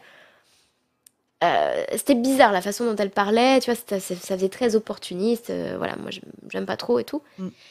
Et du coup, je commence un peu à, à tiquer je dis, mais ah, quand même. euh, c'est pas pas top ce qui se passe là euh, cette personne qui, qui, qui gruge un peu comme ça mais bon si elle assure très bien Mm. après chacun fait comme il peut ce qui compte c'est le résultat pour moi c'est ce qui compte d'ailleurs j'avais vu une question passer qu'est-ce que tu penses des youtubeurs et des star talent et tout? Peu importe Oui, tout le monde en fasse pas de souci il faut que le résultat soit bon si le résultat est bon voilà derrière, faut ouais. que le résultat il soit Bah, un minimum au, truc- au- ouais. au taquet ou alors tu vois par exemple bah, la vidéo qu'on a fait avec Sora Sora il a fait un PNJ il avait trois scènes Oui, alors oui, il n'est pas comédien, en effet, ça s'entend un petit peu. C'est pas le résultat est, est- est bon pour moi, il n'est pas non plus euh, atroce. Il aurait pas pu faire un rôle hyper important, Mm. mais il a fait un petit rôle, donc c'est ok. C'est sur les petits rôles en fait qu'il faut que les Oui, gens apprennent et tout ça. Et donc euh, pour donner la suite de cette histoire, euh, je reçois euh, un coup de téléphone parce que je m'étais plaint à mes potes quand même. J'avais fait oh là là et tout, ça me saoule, machin. Je reçois des textos le jour de l'enregistrement parce qu'il y a tous mes potes sur le plateau. Et ils me disent c'est l'enfer. merde. Elle n'en démoule pas une. Elle ne peut pas, elle n'y arrive pas. Et en fait, elle n'est pas vraiment euh, au taquet. Mm. Elle peut pas assumer ce rôle. Il y a 300 lignes à faire, c'est énorme, c'est un truc énorme. Oui, bah oui. Euh, on se galère et tout, et tout le monde se regarde. Genre, euh. Donc en fait, fait, ils ont fini la journée quand même, je crois. Mais ils ont arrêté d'enregistrer la fille en même temps que les autres. Ils l'ont mis sur euh, une, ce qu'on appelle des pistes audio. Ouais. Euh, voilà, une piste séparée. Donc elle a fait ses scènes en séparé parce que la directrice artistique s'est dit, oulala, je vais pas pouvoir continuer avec elle. Mm. Et en effet, elle n'a pas continué et, et ils m'ont appelé. ils m'ont dit, oui, alors, euh, euh, bon, bah finalement, tu vas faire le rôle. Est-ce que tu peux le faire en une journée? Oh la vache, ouais. Et j'ai dit, bah oui, mais bon, je vous l'avais dit Vous quand même. pas un résultat de malade? con. Ouais, voilà, c'est Voilà. ça. Vous me laissez Et une donc journée, ça peut arriver si, Mm. euh, voilà, par erreur. Mais normalement non, parce qu'un directeur artistique il fait gaffe à qui il convoque. Mais encore récemment, ça m'est arrivé aussi, mais ça c'est autre chose. Par exemple, euh, une directrice artistique qui m'avait booké des dates et elle m'appelle en panique. Elle dit, écoute, j'ai fait une erreur. Euh, j'ai convoqué une comédienne pour faire son rôle adulte Mm. et toi tu veux faire son rôle enfant. Et en fait, il se trouve qu'elle a un terme de voix qui peut faire les deux. D'accord, j'avais ok. j'avais pas capté. Ouais. C'est mon erreur. Je suis désolée. Donc du coup, j'annule tes dates. Mm. Euh, parce que elle va faire c'est plus cohérent parce qu'elle a le même- bah là c'est c'est le même timbre de voix forcément Oui, et puis elle sera dans le même perso. voilà euh. donc c'est des trucs comme ça qui peuvent arriver des petits voilà des miscastings on va dire Ouais, je vois, ouais. Oui, ils savent pas euh, exactement ce qu'ils vont ouais. attendre d'un rôle. euh. ouais et tu peux te faire renvoyer donc c'est vrai que tu peux arriver être nul et on, qu'on te dise écoute désolé ça le fait pas Bah, ça arrive C'est un t'es quand même payé pour te- pour ce que t'as fait mais t'arrêtes là quoi. Ouais, bah, ju- justement, une question que je me posais, c'est d'après toi, c'est quoi un peu les grosses idées reçues qu'il pourrait y avoir en fait sur le métier de comédien de doublage? Parce que les personnes à qui j'en ai parlé, qui sont un peu dans, dans le métier, me disaient que euh, c'était plus. euh, euh, dire, il y a beaucoup de gens qui s'attendent à. Il faut avoir une belle voix et il faut Ouais. savoir parler comme si c'était la simple chose à avoir, alors que pas du tout, quoi. Alors c'est vrai qu'il y a beaucoup de gens qui pensent qu'avoir une belle voix suffit. Mm. À la limite, tu peux faire de la voix off. Si t'as une belle voix, tu peux faire de la voix off, tu travailles ta voix de voix off. C'est très simple, c'est un ton assez neutre. Il n'y a pas... euh, Enfin, c'est quand même particulier comme, euh, comme ton à, à acquérir et il faut quand même euh, s'entraîner. Mais pourquoi pas? Mais ensuite, euh, avoir une belle voix ou une voix très particulière ne fait pas tout et au contraire peut t'enfermer. Mm. Parce qu'imaginons, tu as une voix très grave. tu peux faire que des personnages avec une voix très grave et on va t'appeler que pour ça. Ouais, c'est ça. Euh, ou au contraire, tu as une voix très aiguë, un peu pincée, tu peux faire que des petits bébés dans les dans des dessins animés. Mm. Donc au bout d'un moment, c'est chiant. Bah oui, c'est ça, Ouais. ouais, tu fais ça en plus pour faire plein de rôles différents. euh. Donc ce qui va être plus intéressant, c'est de pouvoir travailler sa voix. Mm. Au-delà d'avoir une belle voix, c'est de pouvoir la poser différemment, euh, avo- avoir un timbre un peu différent, soit très jeune, soit plus âgé. Ça, on demande énormément. En plus, il y a plein de trucs avec des jeunes. Donc euh, une Ouais. voix jeune, on en demande des tas. Bah oui, toi en plus, mecs. t'as une voix jeune et je, je me souviens que t'avais avais dit par le passé dans une interview qu'en gros, euh, euh, t'avais pas non plus spécialement envie bah ouais, de t'enfermer que dans des voix de jeunes filles. Ouais. J'ai eu très peur. J'ai eu très peur de faire que des enfants. Et d'ailleurs, du coup, j'avais fait une technique, et je pense que cette technique a fonctionné. Euh, ou alors, euh, je sais pas, il s'est passé un autre truc, mais euh, pendant genre un an, j'ai fait exprès. J'arrivais en plateau, je parlais avec une voix plus grave, ouais, et je faisais ouais, salut, ça va et tout, euh, ouais, machin. Je faisais ma voix d'Eli, tu vois. ouais, je vois. euh, comment ça s'est passé votre week-end, machin. Et là, j'avais un rôle d'enfant, donc je faisais Ah, eh bien, maintenant, nous allons écouter, machin. Et du coup, ça faisait vraiment le truc. Et je me suis dit bah, comme ça, je fais exprès Mm. pour que la personne voit et enregistre que je peux faire aussi des voix plus graves. Et que bah, peut-être que j'ai un peu évolué, peut-être que voilà, ça y est, j'ai grandi, parce qu'ils m'ont vu grandir. Oui, bah oui, c'est ça. J'étais, je suis arrivée en studio de doublage, j'étais un bébé, j'avais 7 ans. Ouais, c'est clair. Donc Bah oui, euh, dans leur tête, je suis peut-être restée comme ça. tu faisais notamment un lapin dans la version remasterisée de Bambi, non? Premier doublage. Premier doublage, ouais. Premier doublage, je dis Venez, venez, on va voir à quoi il ressemble. Et c'est tout. Mais voilà, mais trop relou, tu peux pas tenir ça sur des décennies entières, quoi. Mais je pourrais encore le faire. cool. Bah ouais, ah oui, faire par contre, grave. C'est Mais- pour alterner. euh, Mais, mais ça m'intéresse pas de faire que ça. que ça, bah bien Voilà. sûr, ouais. Donc ouais, pendant vraiment, je, je te jure, un an sur tous mes plateaux, je faisais exprès de parler avec une voix grave. Mm. Et c'est vrai que au, fil du temps, on m'a donné un peu, un peu plus de rôles euh, plus âgés. Et là, j'ai commencé à m'éclater. Ouais, bah ouais, c'est ça. Là, aujourd'hui, j'ai- j'ai de tout, quoi. Donc c'est trop, trop bien. Trop, trop bien.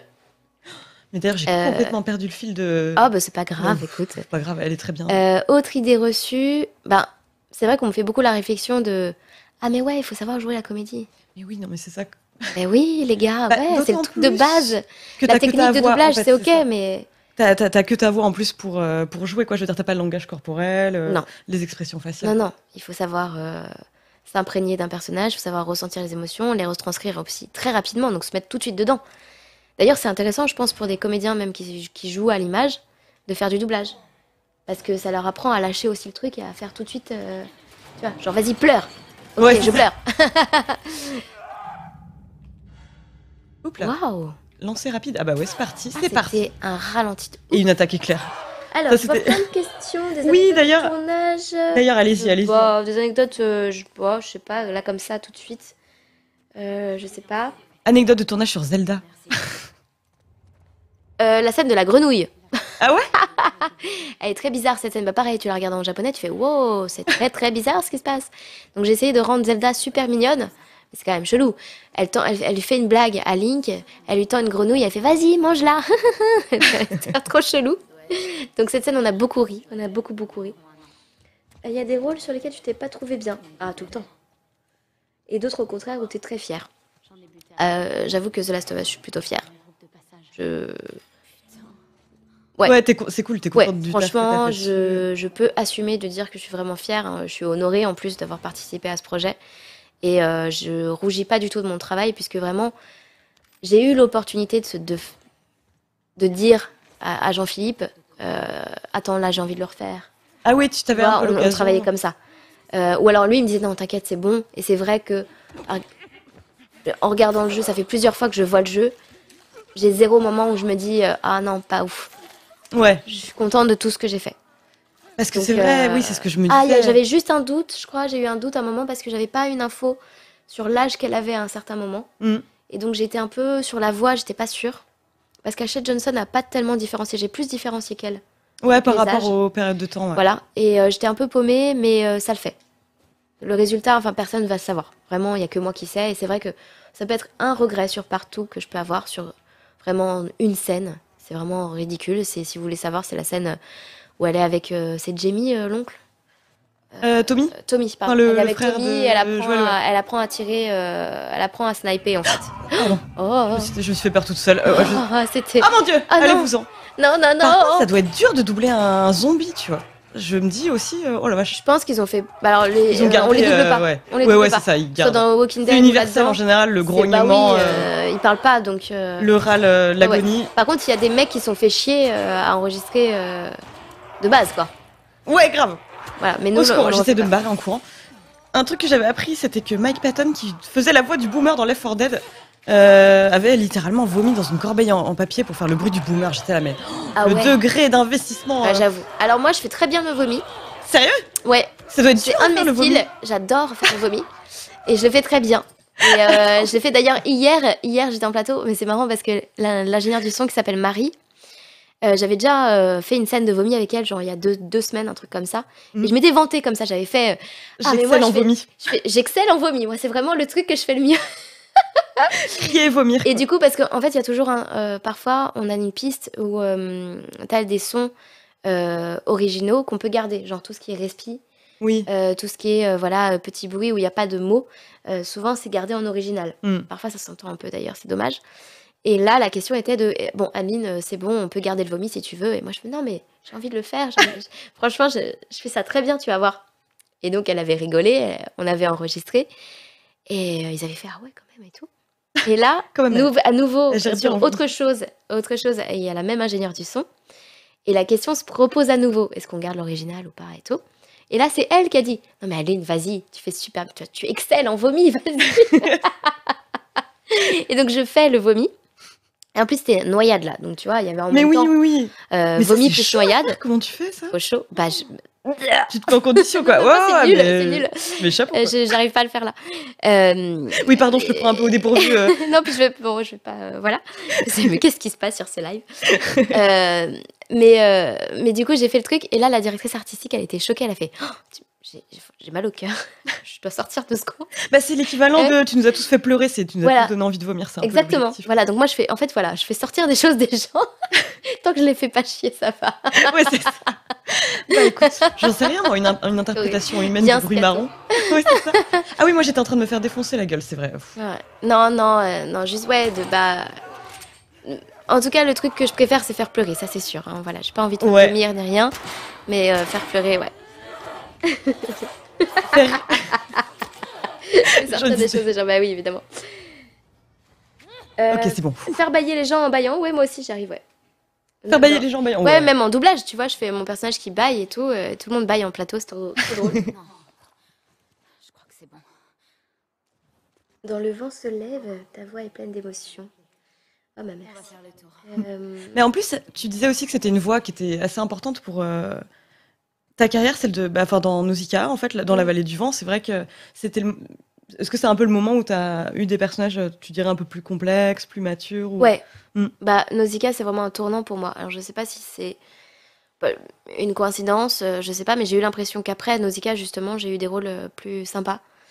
Euh, plus, euh, bah, Plus héroïne, divers, voilà, qui, qui, qui défonce tout, mais qui reste princesse. Enfin, j'ai beaucoup de princesses. hein. Ouais, Nausicaa, c'est une princesse. ouais, ouais, c'est vrai. Amalia, Zelda, tout en A. J'avais Jadina aussi. euh, Ouais, non, j'ai j'ai pas mal de princesses. Et Ellie, c'est pas une princesse, mais mais c'est bien aussi. La princesse. C'est pour ça que je l'apprécie, c'est que c'est pas une princesse pour le coup. Ouais. Mais euh, ouais, non, euh, j'aime j'aime trop euh, tous, tous ces trucs. Ok, vas-y. Est-ce que les conditions d'enregistrement ont évolué entre les deux épisodes de Last of Us? Plus de visuel et plus de temps Oui, c'est vrai, t'as noté Ouais. une différence entre les deux? Ah ouais, ouais, bien sûr. Les attentes devaient pas être les mêmes du tout. en Bah attends, t'as vu la pression? Bah, c'est ça. Ouais, moi j'avais une pression de ouf, hein. Là, Franchement, tu on m'étonnes. m'en parlait tous les jours, ça faisait un an, dès- enfin même dès qu'ils ont annoncé à l'E3. Ouais. Dans la minute, j'ai été euh, taguée, tu vois. Mm. En mode, euh, ah Adeline, C'est bien ça toi y qui est, fais la euh, bah alors tu vas faire? Je- Non, j'ai pas d'infos en fait, je peux pas, je peux pas dire. D'ailleurs, on me demande là pour euh, Zelda, mais les gars. Oui, mais 2020, oui, c'est vrai. fin 2022. euh, Ouais, ça paraît calme. super loin, quoi. Et je, je peux pas dire, voilà, je peux Mais- rien dire du tout. Bah, c'est vrai, je me dis, limite, c'est pas plus mal en fait d'apprendre au dernier moment que c'est Zelda, comme ça tu t'es pas foutu la pression, t'arrives en studio. clair. Bon, bah, Ah ce sera Zelda, quoi. Bon, pas d'accord. T'as pas le temps de te stresser. Mais après, cela dit, qu'il y ait la pression ou pas, moi ça change pas grand chose. Ah ouais? Bah, si le, si le rôle est incroyable, je vais, je vais mettre du cœur euh, autant que. Enfin, on s'en fout. Si personne Mm. le voit, c'est pas grave. Moi, ce qui m'intéresse, c'est de le jouer ce rôle. Oui, bah oui, c'est ça. Après, que les gens euh, le kiffent, euh, le voient, le machin, bah, c'est un bonus. Mais c'est pas ça qui me. Tu vois, je- en fait, j'arrive pas en studio en me disant Bon, alors, est-ce que ça va être connu? Du coup, si c'est connu, euh, vas-y, je fais bien. Mm. Bah non. Ouais, non, c'est J'essaye de faire bien, euh, même sur les trucs les plus pourris, quoi. Parce que je me dis, bon, bah voilà, au moins, il y a peut-être une personne qui va regarder ça, qui va trouver ça cool, euh, qui va kiffer. Ouais, voilà. ou qui va dire, Attends, mais euh, Ou ce alors, jeu est tout attention, pourri, mais le doublage est excellent. ou attention, parce que parfois tu peux faire des trucs pourris et en fait, ça devient, c'est un succès interplanétaire, on sait pas. Oui, oui, c'est vrai que tu peux On avoir sait des jamais. surprises. Comme je sais pas, dans le doute, je fais tout bien. Enfin, j'essaye. j'essaye vrai de faire que- le, le max. Le premier Last of Us, tu devais avoir aucune idée du retentissement que ça allait avoir, quoi. Mais moi, j'étais amoureuse du scénario. Ouais, c'est ça. Tu... Donc j'étais déjà à fond dedans. Je m'en foutais. J'étais pas là en train de me dire. D'ailleurs, je me suis pas fait la réflexion. Ce, ce- ce jeu vidéo, j'allais dire ce film, parce que pour moi c'est presque un film. Ce jeu vidéo euh, va être archi connu. euh, on va m'appeler euh, après. on va, je vais faire des conventions de ouf et tout. Je me suis jamais, à aucun moment, je me suis dit ça quoi. Ouais, bah ouais, c'est ça. Tu peux Même pas Zelda, même Zelda, truc. je me suis pas dit ça. Et Zelda, par contre, ça a été incroyable. Les conventions qu'on m'a qu'on m'a proposées, je vais dire offertes, mais oui carrément. Je suis allée au Canada pour Zelda, Ah ouais pour signer des dédicaces quoi. Trop bien. Tu te rends compte, c'est ouf. C'est trop cool. Ouais. Mais, et il me semble euh, t'avoir entendu dire que vous avez quand même des contraintes techniques assez particulières pour Zelda. Et je me demandais euh, si c'était euh, ouais, un cas particulier par rapport aux autres jeux vidéo ou. On n'avait pas tout ce qu'il fallait. Donc compliqué, mais on s'en est sorti et de toute façon, j'en ai parlé, euh, j'en ai parlé euh, à Nintendo déjà et voilà, et j'ai dit bah ce serait quand même bien, euh, ce serait, ce serait bien si euh, à l'occasion on travaillait ensemble à nouveau. Ouais, voilà, j'ai glissé ça comme ça. D'avoir plus d'éléments quand même. ce serait bien quand même de pouvoir, euh, voilà, euh, pouvoir avoir certaines choses. ouais. Mais je peux pas donner de détails évidemment. Ouais, bah ouais, non. mais mais je pense que ce sera fait parce que justement, comme c'est de plus en plus important et ils s'en rendent compte. Se rendent compte qu'on a besoin de ça pour faire euh, pour faire une super VF. Et, et c'est dans leur intérêt parce que plus plus on a des éléments et plus on, on c'est facilité, plus on va travailler vite. Donc eux, ça va leur coûter moins cher. Donc super pour tout le monde.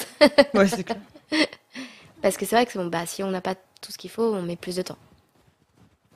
Si je vois pas bien la Ou- synchro, par exemple, tu vois, il faut que, Bah c'est ça, ouais, tout. faut tout que, je, euh, faut que je peaufine, il faut que je reprenne des scènes, il faut que je recommence. Toute la synchro labiale, Voilà. etc. Ouais, ouais, ouais. Donc c'est très important. Que là, vous avez vraiment ouais, pendant les, euh, les cinématiques, quoi. Mm. Bah, après, je dis ça, mais euh, pareil, hein, maintenant, dans des moments in-game, en fait, quand le personnage parle, on peut euh, voir ses lèvres bouger, quoi. Bon, après, il faut vraiment être euh, le joueur ultra pointilleux pour remarquer ça, mais là, d'ailleurs, je suis en train de faire n'importe quoi depuis tout à l'heure. hein, Je Tourne en rond, je crois, meuf. Je tourne complètement en rond. Non, mais c'est chaud. hein. Ça fait huit fois que je passe à travers un grave. pauvre. euh, Attends, je- Allez, allez hop. je- Allez, humiliez-moi, donnez-moi l'indice. À licencer ta voix. Ah oui, parce qu'il y a une question sur. euh, Attends. Oh là là. C'est trop compliqué là, vous êtes trop pointu pour moi, les gars. Euh, J'ai l'impression qu'on parle un Mais petit oui, peu des mignon. IA et des trucs comme ça. Pour les voix. Par rapport au doublage voix. Ouais, je sais pas si c'est vraiment ça le thème euh, de la question, mais j'ai vu, j'ai vu passer gueule, enfin. Elle ne tourne pas du tout en rond. Pas du tout, non. Eh, la vache. Euh, En vrai, c'est vrai qu'on en parle de plus en plus de euh, on va bientôt être remplacé parce que des robots vont faire les voix. Euh, Il y a aussi des, des, des évolutions technologiques et ça c'est cool par contre euh, pour la synchro. Apparemment, on pourrait bientôt, euh, grâce à un logiciel, toi tu dis n'importe quoi Ouais. et ça rentre et la bouche s'adapte.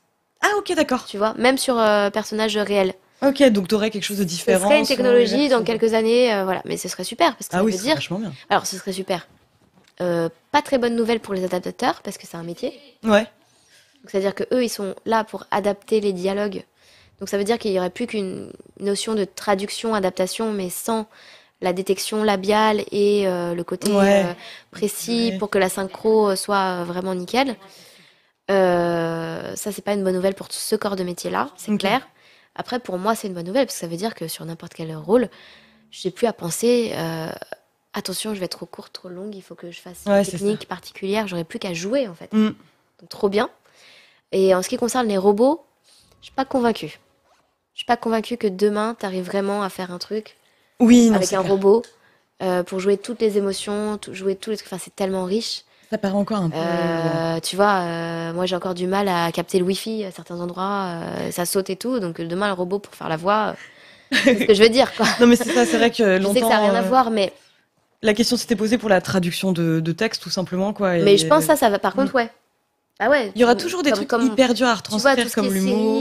Euh, tout ça, euh, voilà, tous les, tous les, tous les trucs de, où tu peux dire maintenant, bah, lis-moi un texte et c'est à peu près euh, correct, entre guillemets, mais c'est pas encore au point.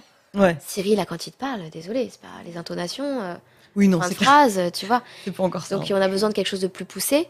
Je pense que c'est possible pour certaines choses, genre documentaire, peut-être où il faut un truc très linéaire, voix off, euh, potentiellement. Mais euh, des rôles comme ça, tu peux pas encore. Ça m'étonnerait que tu puisses un jour. Mais la mode, Mais euh, on verra. Et, euh, et si c'est le cas, en effet, je vends ma voix, pas de souci, les gars. Je vends ma voix super chère. Ouais, voilà, c'est ça. voilà. Et je pars à la retraite et je pars sur une île. La petite série personnalisée, ouais. Bah, euh, d'ailleurs, je dis ça parce que il me semble qu'on peut. Mon père avait un GPS, on pouvait littéralement avoir la voix du doubleur d'Homer Simpson. Ouais, ouais, ouais, ouais. Mais tu peux même enregistrer. Moi, je pourrais me faire des délires à enregistrer euh, Waze, tu vois. Euh, je pourrais faire des délires, des surprises à des gens comme ça, je pense, Ouais, c'est ça. avec des voix. Mais, euh, mais moi, ça m'intéresse pas d'entendre ma voix dans mon GPS. donc. Je peux comprendre. Ouais, je peux comprendre. Là, je la sens qui s'auto-kiffe tout le temps. Ouais, non, mais horrible. Mais non, mais surtout en plus, après tu me disais que tu avais l'habitude, donc je comprends, c'est normal, ouais, c'est ton métier et tout. Mais c'est un des trucs les plus mortifiants pour la plupart des gens, c'est d'entendre leur voix sur leur boîte vocale, Ouais, euh, etc. Et je me dis, est-ce Ouais. que, ouais, il y a un moment où tu arrives à complètement dépasser ce côté, oui. parce que ça doit être difficile d'apprécier une œuvre euh, sur laquelle tu as peu de recul parce que tu as travaillé dedans. Mm. Euh, Mm. Je me dis, tu arrives à faire Je opérer pense cette que ça se fait au bout de plusieurs années. Ouais. Et parfois, jamais. Donald Renew, par exemple, je crois qu'il déteste entendre sa voix. Il peut pas genre jouer Non. au jeu ou. euh, Ça, le- ça, le, ça le stresse. Ouais, Moi, ça. ça me gêne pas parce que je, je suis détachée du truc. Mm. Après, je vais toujours avoir le côté euh, critique. Dire ah, ça. euh, bah, Il y a une série bientôt qui sort, je peux pas en dire plus. Voilà. Normal, normal. Une série bientôt qui sort. Je lâche ça comme ça. Euh, où j'ai fait une voix, euh, un truc euh, assez attendu, un truc un peu touchy. Je sais pas comment ça va être accueilli, j'ai super peur. Et je sais qu'il y a des choses, justement, je te parlais de, des petits triacs. Tu sais, les petits trucs qui sont pris en original. Mm. Et euh, voilà, donc ce- sur ce rôle-là, j'ai quasiment toutes les réactions, tous les souffles qui sont pas de moi. Ah oui, d'accord, ok. Et ça me mortifie. Ouais. Je suis pas du tout d'accord avec ça. Et euh, j'ai j'ai limite, bon, j'ai pas euh, chouiné, tu vois, en, en plateau, mais j'ai dit, s'il vous plaît, les gars, Mm. au moins, tu vois, ce petit cri, ce truc. Parce que il faut que ce soit mon timbre de voix, ça va s'entendre. Oui, les gens vont truc le. trop important, ça vont va s'entendre. ouais. Ils vont s'en rendre compte. Donc bon, comme vous êtes euh, peut-être pas, j'espère pas trop nombreux, je vois pas combien il y a de personnes. Donc voilà. Si euh, plus tard euh, vous savez de quoi il s'agit, dites-moi, envoyez-moi un message pour me dire si ça s'entend, si ça s'entend ou pas. Je sais que c'est très mystérieux, mais je peux pas en dire plus. Donc euh, à vous de, à vous de deviner euh, quand, quand le projet sortira. Je pense que vous saurez. Je pense que vous saurez. Oh, les, la thé- les théoriciens du complot dans le chat qui sont là, c'est la série de The Last of Us dont tu parles? Non, on ne dira rien de toute Non, façon non, en plus. J'ai vu passer un truc, c'est ça. Voilà, je veux dire, euh, voilà, mais c'est c'est tout. Et euh, Et des gens qui- en, en dehors de ça qui te demandent de faire ta voix pour Waze. Mais euh, est-ce que la période ah, où ça on... va vous coûter cher. Ouais, c'est clair. est-ce que euh, la période où on prenait des personnalités pour doubler est finie? Parce que je trouvais ça horrible, nous dit euh, Démétrion69. Mais non, c'est pas horrible, ça dépend qui. Si le, oui, si le résultat, tu disais c'est le résultat final c'est le résultat qui le- compte. Euh, T'as vu là-haut? Avec Aznavour Incroyable. Ah non, j'ai pas vu. T'as pas vu? Non. Bah, c'est Aznavour, c'est pas son métier. En vrai, il est chanteur à la base, il est Ouais. aussi comédien un petit peu et tout, mais bon, eh ben, euh, c'est incroyable ce qu'il a fait. Et pareil, euh, Nemo. Ah oui, mais c'est ça en fait, c'est ça. Oui, je les ai vus en, en VO euh, ces films-là du coup. Je savais pas. Aznavour, il a bossé sur euh, là-haut. Ouais. Trop bien. Je me trompe pas, hein, je crois que c'est bien ça. Non, j'ai un doute. Mais en gros, oui, c'est ça. C'est pas tant l'idée Oui, oui, qu'on prenne des personnalités, tant que le résultat est bon. Ouais, oui, c'est bon, c'est Aznavour. Bah ouais, mais euh, oui. Alors ça dépend qui. Et puis ça dépend du, de, de combien de temps ils ont travaillé. Tu sais, les Star Talent, euh, quand on, nous on fait un film en trois jours, ils, ils me prennent 15. hein. Ouais, c'est ça aussi. Donc c'est, ils prennent le temps et tout ça euh, sur les films, ils, se- ils se donnent le budget. Oui. Euh, Parce que ça leur fera de la communication, Dis-toi que ce du que t'entends, c'est le résultat le, au max Mm. de ce qu'ils ont pu faire. Donc oui, parfois ça marche pas bien du tout. Ouais. Mais il faut qu'il y ait ces gens, sinon comment on aurait été connus nous? Oui, oui, oui. tu vois? Donc c'est vrai, alors c'est dommage quand ça sert pas la, la VF et quand le résultat est, est bof. C'est très dommage, c'est dommageable pour l'œuvre en elle-même. Mais d'une manière générale, pour tout le métier, je pense pas que ce soit dommage. Mm. Parce que quoi qu'il arrive, du coup, on en parle. Et justement, si on en parle en mal en disant cette VF elle est horrible parce que c'est un star talent, et ben ça veut dire aussi que c'est un peu une déclaration d'amour pour nous. Mm. En disant, bon, bah, les, doub- les, les doubleurs, ouais. j'allais dire les doubleurs, oh là là, je vais me faire taper dessus. euh, Les comédiens de doublage. les comédiens de doublage, très important hein, de voilà, préciser ça. excusez-moi. Moi, je m'en fous euh, complètement de ce, de ce débat. Pour moi, n'a aucune importance. Bah, euh, si, si, euh, si on dit, bah, on aurait préféré avoir la voix de machin ou la voix de truc et que c'est des comédiens de doublage, super. Mm. Tu vois, c'est bien pour nous. Ouais, ouais, bien sûr. Mais c'est vrai, bon, c'est dommageable euh, pour, pour l'œuvre en elle-même. Bah, c'est quelqu'un qui dit ouais, j'ai vraiment l'impression qu'ils prennent des stars pour les mettre Ouais, en avant. sur la va venir, mais ouais, ouais, c'est ça. Ça, c'est sûr que effectivement, oui, bah, certaines stars, tu vois qu'il y a une logique effectivement de communication et de marketing derrière. Mais c'est vrai, Dubosc, tu vois, sur Marin dans Nemo, mais il est incroyable. Moi, je trouve que ça fonctionne super bien. Et pourtant, euh, bon. Alors après, il est comédien, Dubosc. Donc je pense que ça, ça a plus de sens et ça marche quand même mieux quand ce sont des comédiens. Ouais, c'est ça. Si c'est quelqu'un qui n'est pas comédien, donc style youtubeur, footballeur, euh, au truc en heure, je sais pas. bah évidemment, peut-être ça marche moins bien parce que c'est pas leur métier de base et que c'est compliqué. Dans ce cas, ok, on leur donne pas les premiers rôles. Mm. Tu fais une petite apparition, tu fais un petit truc, Une petite guest euh, euh, voilà, un guest, mais euh, tu, tu mets pas en premier rôle. Ouais, Pour ça. moi, ce serait ça la logique. Mm. En fait, c'est ok pour euh, faire des, des, des- des coups de com et faire venir des gens connus. Et en plus, ça leur fait plaisir parce que tout le monde maintenant kiffe la voix. Surtout si c'est animé, euh, si c'est euh, jeu vidéo. euh, voilà, ils sont trop contents. Les youtubeurs, s'ils peuvent avoir un truc comme ça. Mais voilà, Sora, il était trop content. Bah, de pouvoir voir aussi un peu comment ça se passe, les coulisses euh, du truc Exact, et tout, c'est fascinant. ouais. Il était trop fier, tu vois. Euh, j'ai vu, euh, j'ai vu euh, son let's play où il découvre à la fin, enfin il découvre son perso, enfin on a découvert ensemble et j'ai vu son let's play où il finit le jeu et il attend le générique. Il attend la- le- de voir son nom. De voir son... Oui, bah oui, t'as la, petite excitation. La Bah ouais, fois parce que lui, en fait, si c'est au contraire des comédiens de doublage qui souvent, nous, on, on fait un truc, on se rend pas compte de ce qu'on est en train de faire, on connaît pas forcément. On Mm. n'a pas les éléments, on sait pas dans quoi on met les pieds, on n'est pas forcément fan de la licence, on fait notre taf, point. Ouais, c'est souvent ça. ça.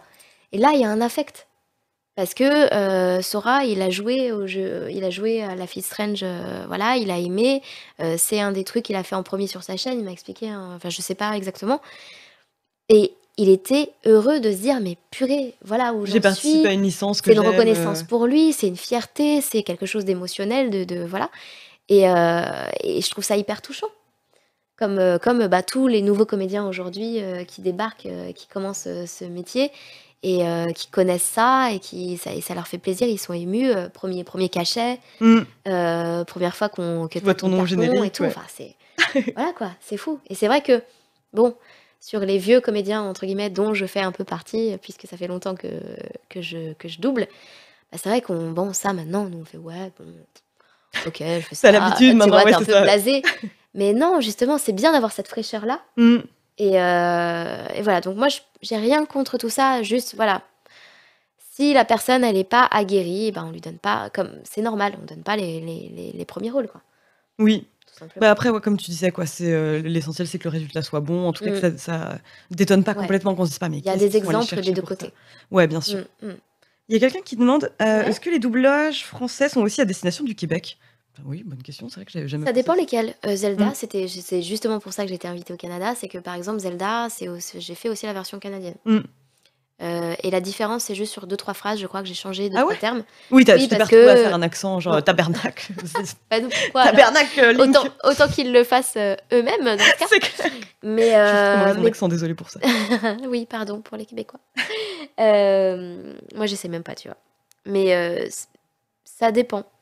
Oui, Ça ça peut être des phrases, euh, effectivement, ouais, que les gens vont pas nécessairement comprendre. euh. Mm. Ah, mais c'est Et en fait, intéressant. pourquoi, il me semble, je- je- j'avance une théorie, mais je pense que euh, s'il y avait une version canadienne et une version française sur certains films, c'est que eux, comme ils sont proches des États-Unis, souvent les sorties sont au même moment. Ouais. Et donc c'est pour ça qu'ils doublaient avant, parce qu'ils faisaient euh, leur truc, et puis comme ça, bah, c'est fait chez eux, euh, voilà. Et, euh, et nous, on faisait plus tard. Mais là, ça commence à changer, donc je sais pas comment ça se passe ailleurs. Faudrait que je prenne des nouvelles euh, de mes potes euh, au Canada. Ouais, c'est ça. Est-ce que vous continuez à doubler des films? Comment ça se passe? Je pense que oui, je pense que oui, il y a des versions canadiennes toujours. T'as l'opportuni- l'opportunité parfois de rencontrer les personnes qui font la- des voix originales que tu te retrouves à doubler par la suite? C'est hyper rare. Ouais. J'ai peu de contacts directs. J'ai rencontré, j'ai rencontré quelques comédiennes, mais euh, très, euh, très vite fait. Mm. Et là, il y avait justement Jodie Comer euh, qui était, qui était sur Paris pour faire la promotion de son dernier film. Et on m'a proposé d'assister à une conférence de presse pour peut-être lui poser une question, la voir et tout. Et j'ai dit non, franchement, les gars, non, parce que déjà, je le double plus, donc je vais dire quoi? Oui. Euh, Je suis ta voix française sur certains de tes films. Ouais, c'est ça. Pas tous. un temps où je te doublais. non, c'est un peu chelou. Euh, Oui, je vais pas ouais. m'approprier, tu vois, parce qu'elle vient pour une- un film que j'ai pas doublé. Oui, bien Donc, sûr. Tu vois, je me sentais un peu mal à l'aise. Mm. Et j'avais pas envie d'être dans une salle devant tout le monde et tout. J'aurais aimé, tu vois, qu'on ait un moment, un petit rencard, euh, entre guillemets, de Discuter un 5 peu, minutes, ouais. voilà, de dire, ah bah tiens, salut, ça va, c'est Mm. trop cool. Ce qui est déjà arrivé, mais c'est à chaque fois, c'est en coup de vent. Ouais, de toute façon, quand elles viennent faire des promos, c'est en mode interview à fond, tu vois, elles ont pas. Enfin, voilà, rencontrer les voix françaises, ça les. a- Enfin, Oui, oui, oui. ok, si tu peux le Oui, caler vite fait, mais ça va pas Mm. être une heure, on va se parler de tout et de rien, quoi. Ouais, c'est euh, voilà.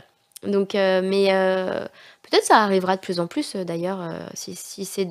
Justement, si les- le doublage est de plus en plus mis en valeur, pourquoi pas, hein. Ouais, c'est ça, ou au moins que vous ayez, je sais pas, même euh, des rencontres avec des personnes qui participent au développement d'un jeu, qui pourraient vous donner des indications différentes euh, sur ce qu'ils cherchent à faire, je sais pas, ouais. Bah, ça, on a quand même. hein. Ouais, On- ça arrive. Normalement, euh, oui. Mm. Normalement, si c'est un projet important, on a euh, quelqu'un euh, qui est là en Skype, quoi, qui surveille. euh. Ouais, qui va un peu vous dire, euh, voilà, Ouais, personnage, il tient énormément à cette Oui, scène. oui, oui. Non, non, on a toujours. Mais, euh, mais ça, en jeu vidéo, je parle. En jeu vidéo. Et Mm. en- Sinon, le réalisateur est là pour les créations de voix. Après, tout ce qui est doublage, non. Ah, il y a deux questions que je tiens à poser, parce que je les ai vues remonter plein de fois. Vas-y, vas-y, fois. vas-y. Je me dis, euh, ouais, Sorazul et euh, Jimmy et Loco, euh, vous êtes très persévérants et votre persévérance. Désolée de ne pas répondre. Mais ouais, désolé, on en loupe plein forcément. Et bah, ce sera sans doute les dernières, parce que je me rends compte, le temps passe hyper vite, il est déjà Ouais. quasi 22h. pas. Bah ouais, bah écoute. Mais va- bah, alors quelqu'un demande Qu'est-ce que tu refuses comme doublage de film ou documentaire ou jeu vidéo? Bah déjà ouais si ça Je refuse arrive. rien. Ouais, c'est ça. Voilà. Voilà, hop, comme je ça, ne refuse pas. En fait, je, je- non, je suis pas en position de refuser. De toute façon, je ne sais pas ce qu'on me propose, donc je ne peux pas refuser ce que je ne sais pas ce qu'on me propose, forcément. Et euh, par contre, ça m'est déjà arrivé, ouais, par exemple, Call of Duty, le mec m'a appelé, il m'a dit, écoute, voilà, il faut, il faut hurler pendant trois heures, est-ce que t'es ok? Donc oui, j'ai dit, euh, bah oui, moi pas de souci, j'aurais pu Mm. dire non, Ouais. bien sûr. Mais euh, c'est les seules raisons, voilà. Je, non, non, je refuse pas. Et en fait, il n'y a pas de, il a vraiment pas de notion de, ah, je ne veux pas faire ce rôle parce qu'il m'intéresse pas. Mm. Ça, non.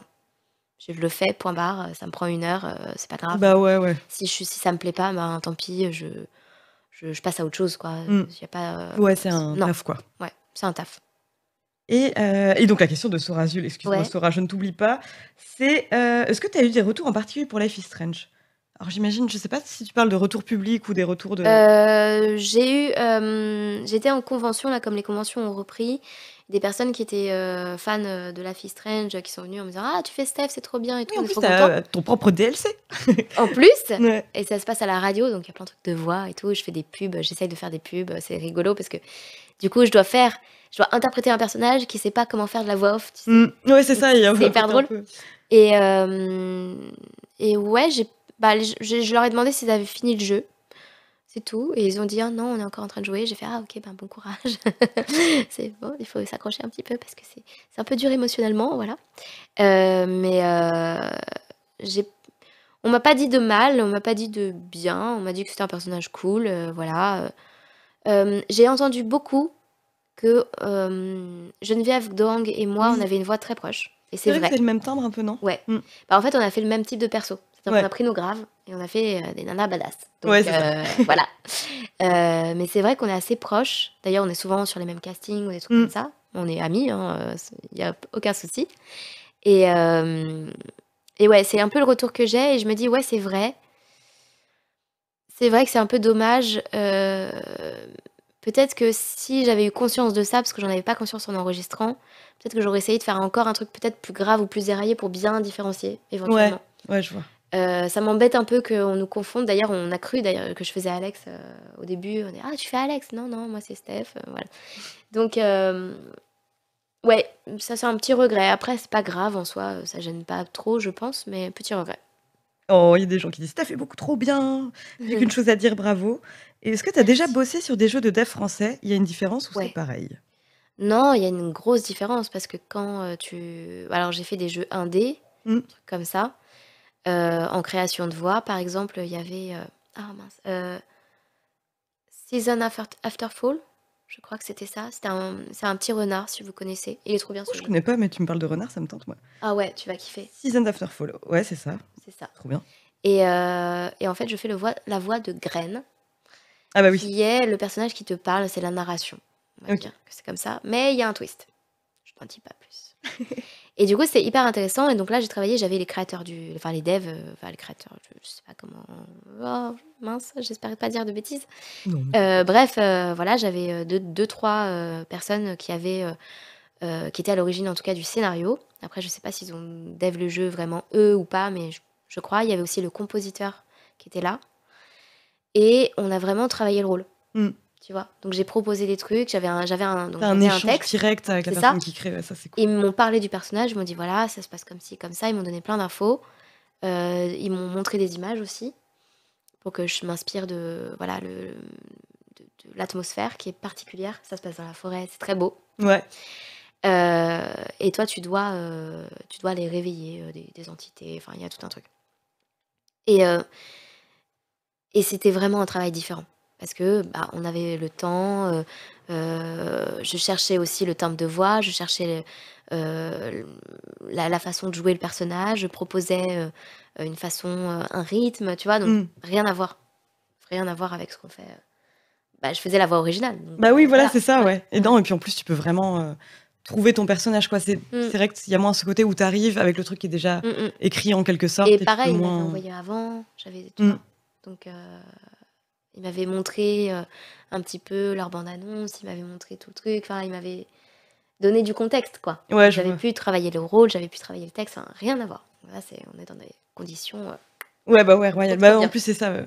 Bon, bah en fait, je m'en compte. Oui, c'est Swing Swing Submarine en effet, la prod. Mais non, ouais, j'étais en train de me dire, ça y est, il est 22h en fait. Je vais devoir Et euh, 22 arrêter heures, parce que bah, il faut qu'on arrête. On me dira, bah Julie, il faut que tu fasses des émissions de 3 heures maintenant et euh, je Oh suis fatiguée, ma je rentrerai chez moi. Vas-y, on arrête tout de suite. Mais je t'avoue, euh, j'aurais pu parler euh, hyper longtemps en fait euh, avec toi. euh. de tout ça, quoi. Mm, Je suis une grosse pipelette, j'arrête pas de parler. Mais ouais, mais ça qui est trop cool. Ça qui est trop cool. Mais en tout cas, ouais, merci beaucoup. euh, bah, merci beaucoup, euh, Adeline, d'être venue, vraiment. euh, d'être venue jusqu'à Malakoff, quand même. euh, ville fleurie, mais ville éloignée. Non, pas du tout, ça va. Ça va.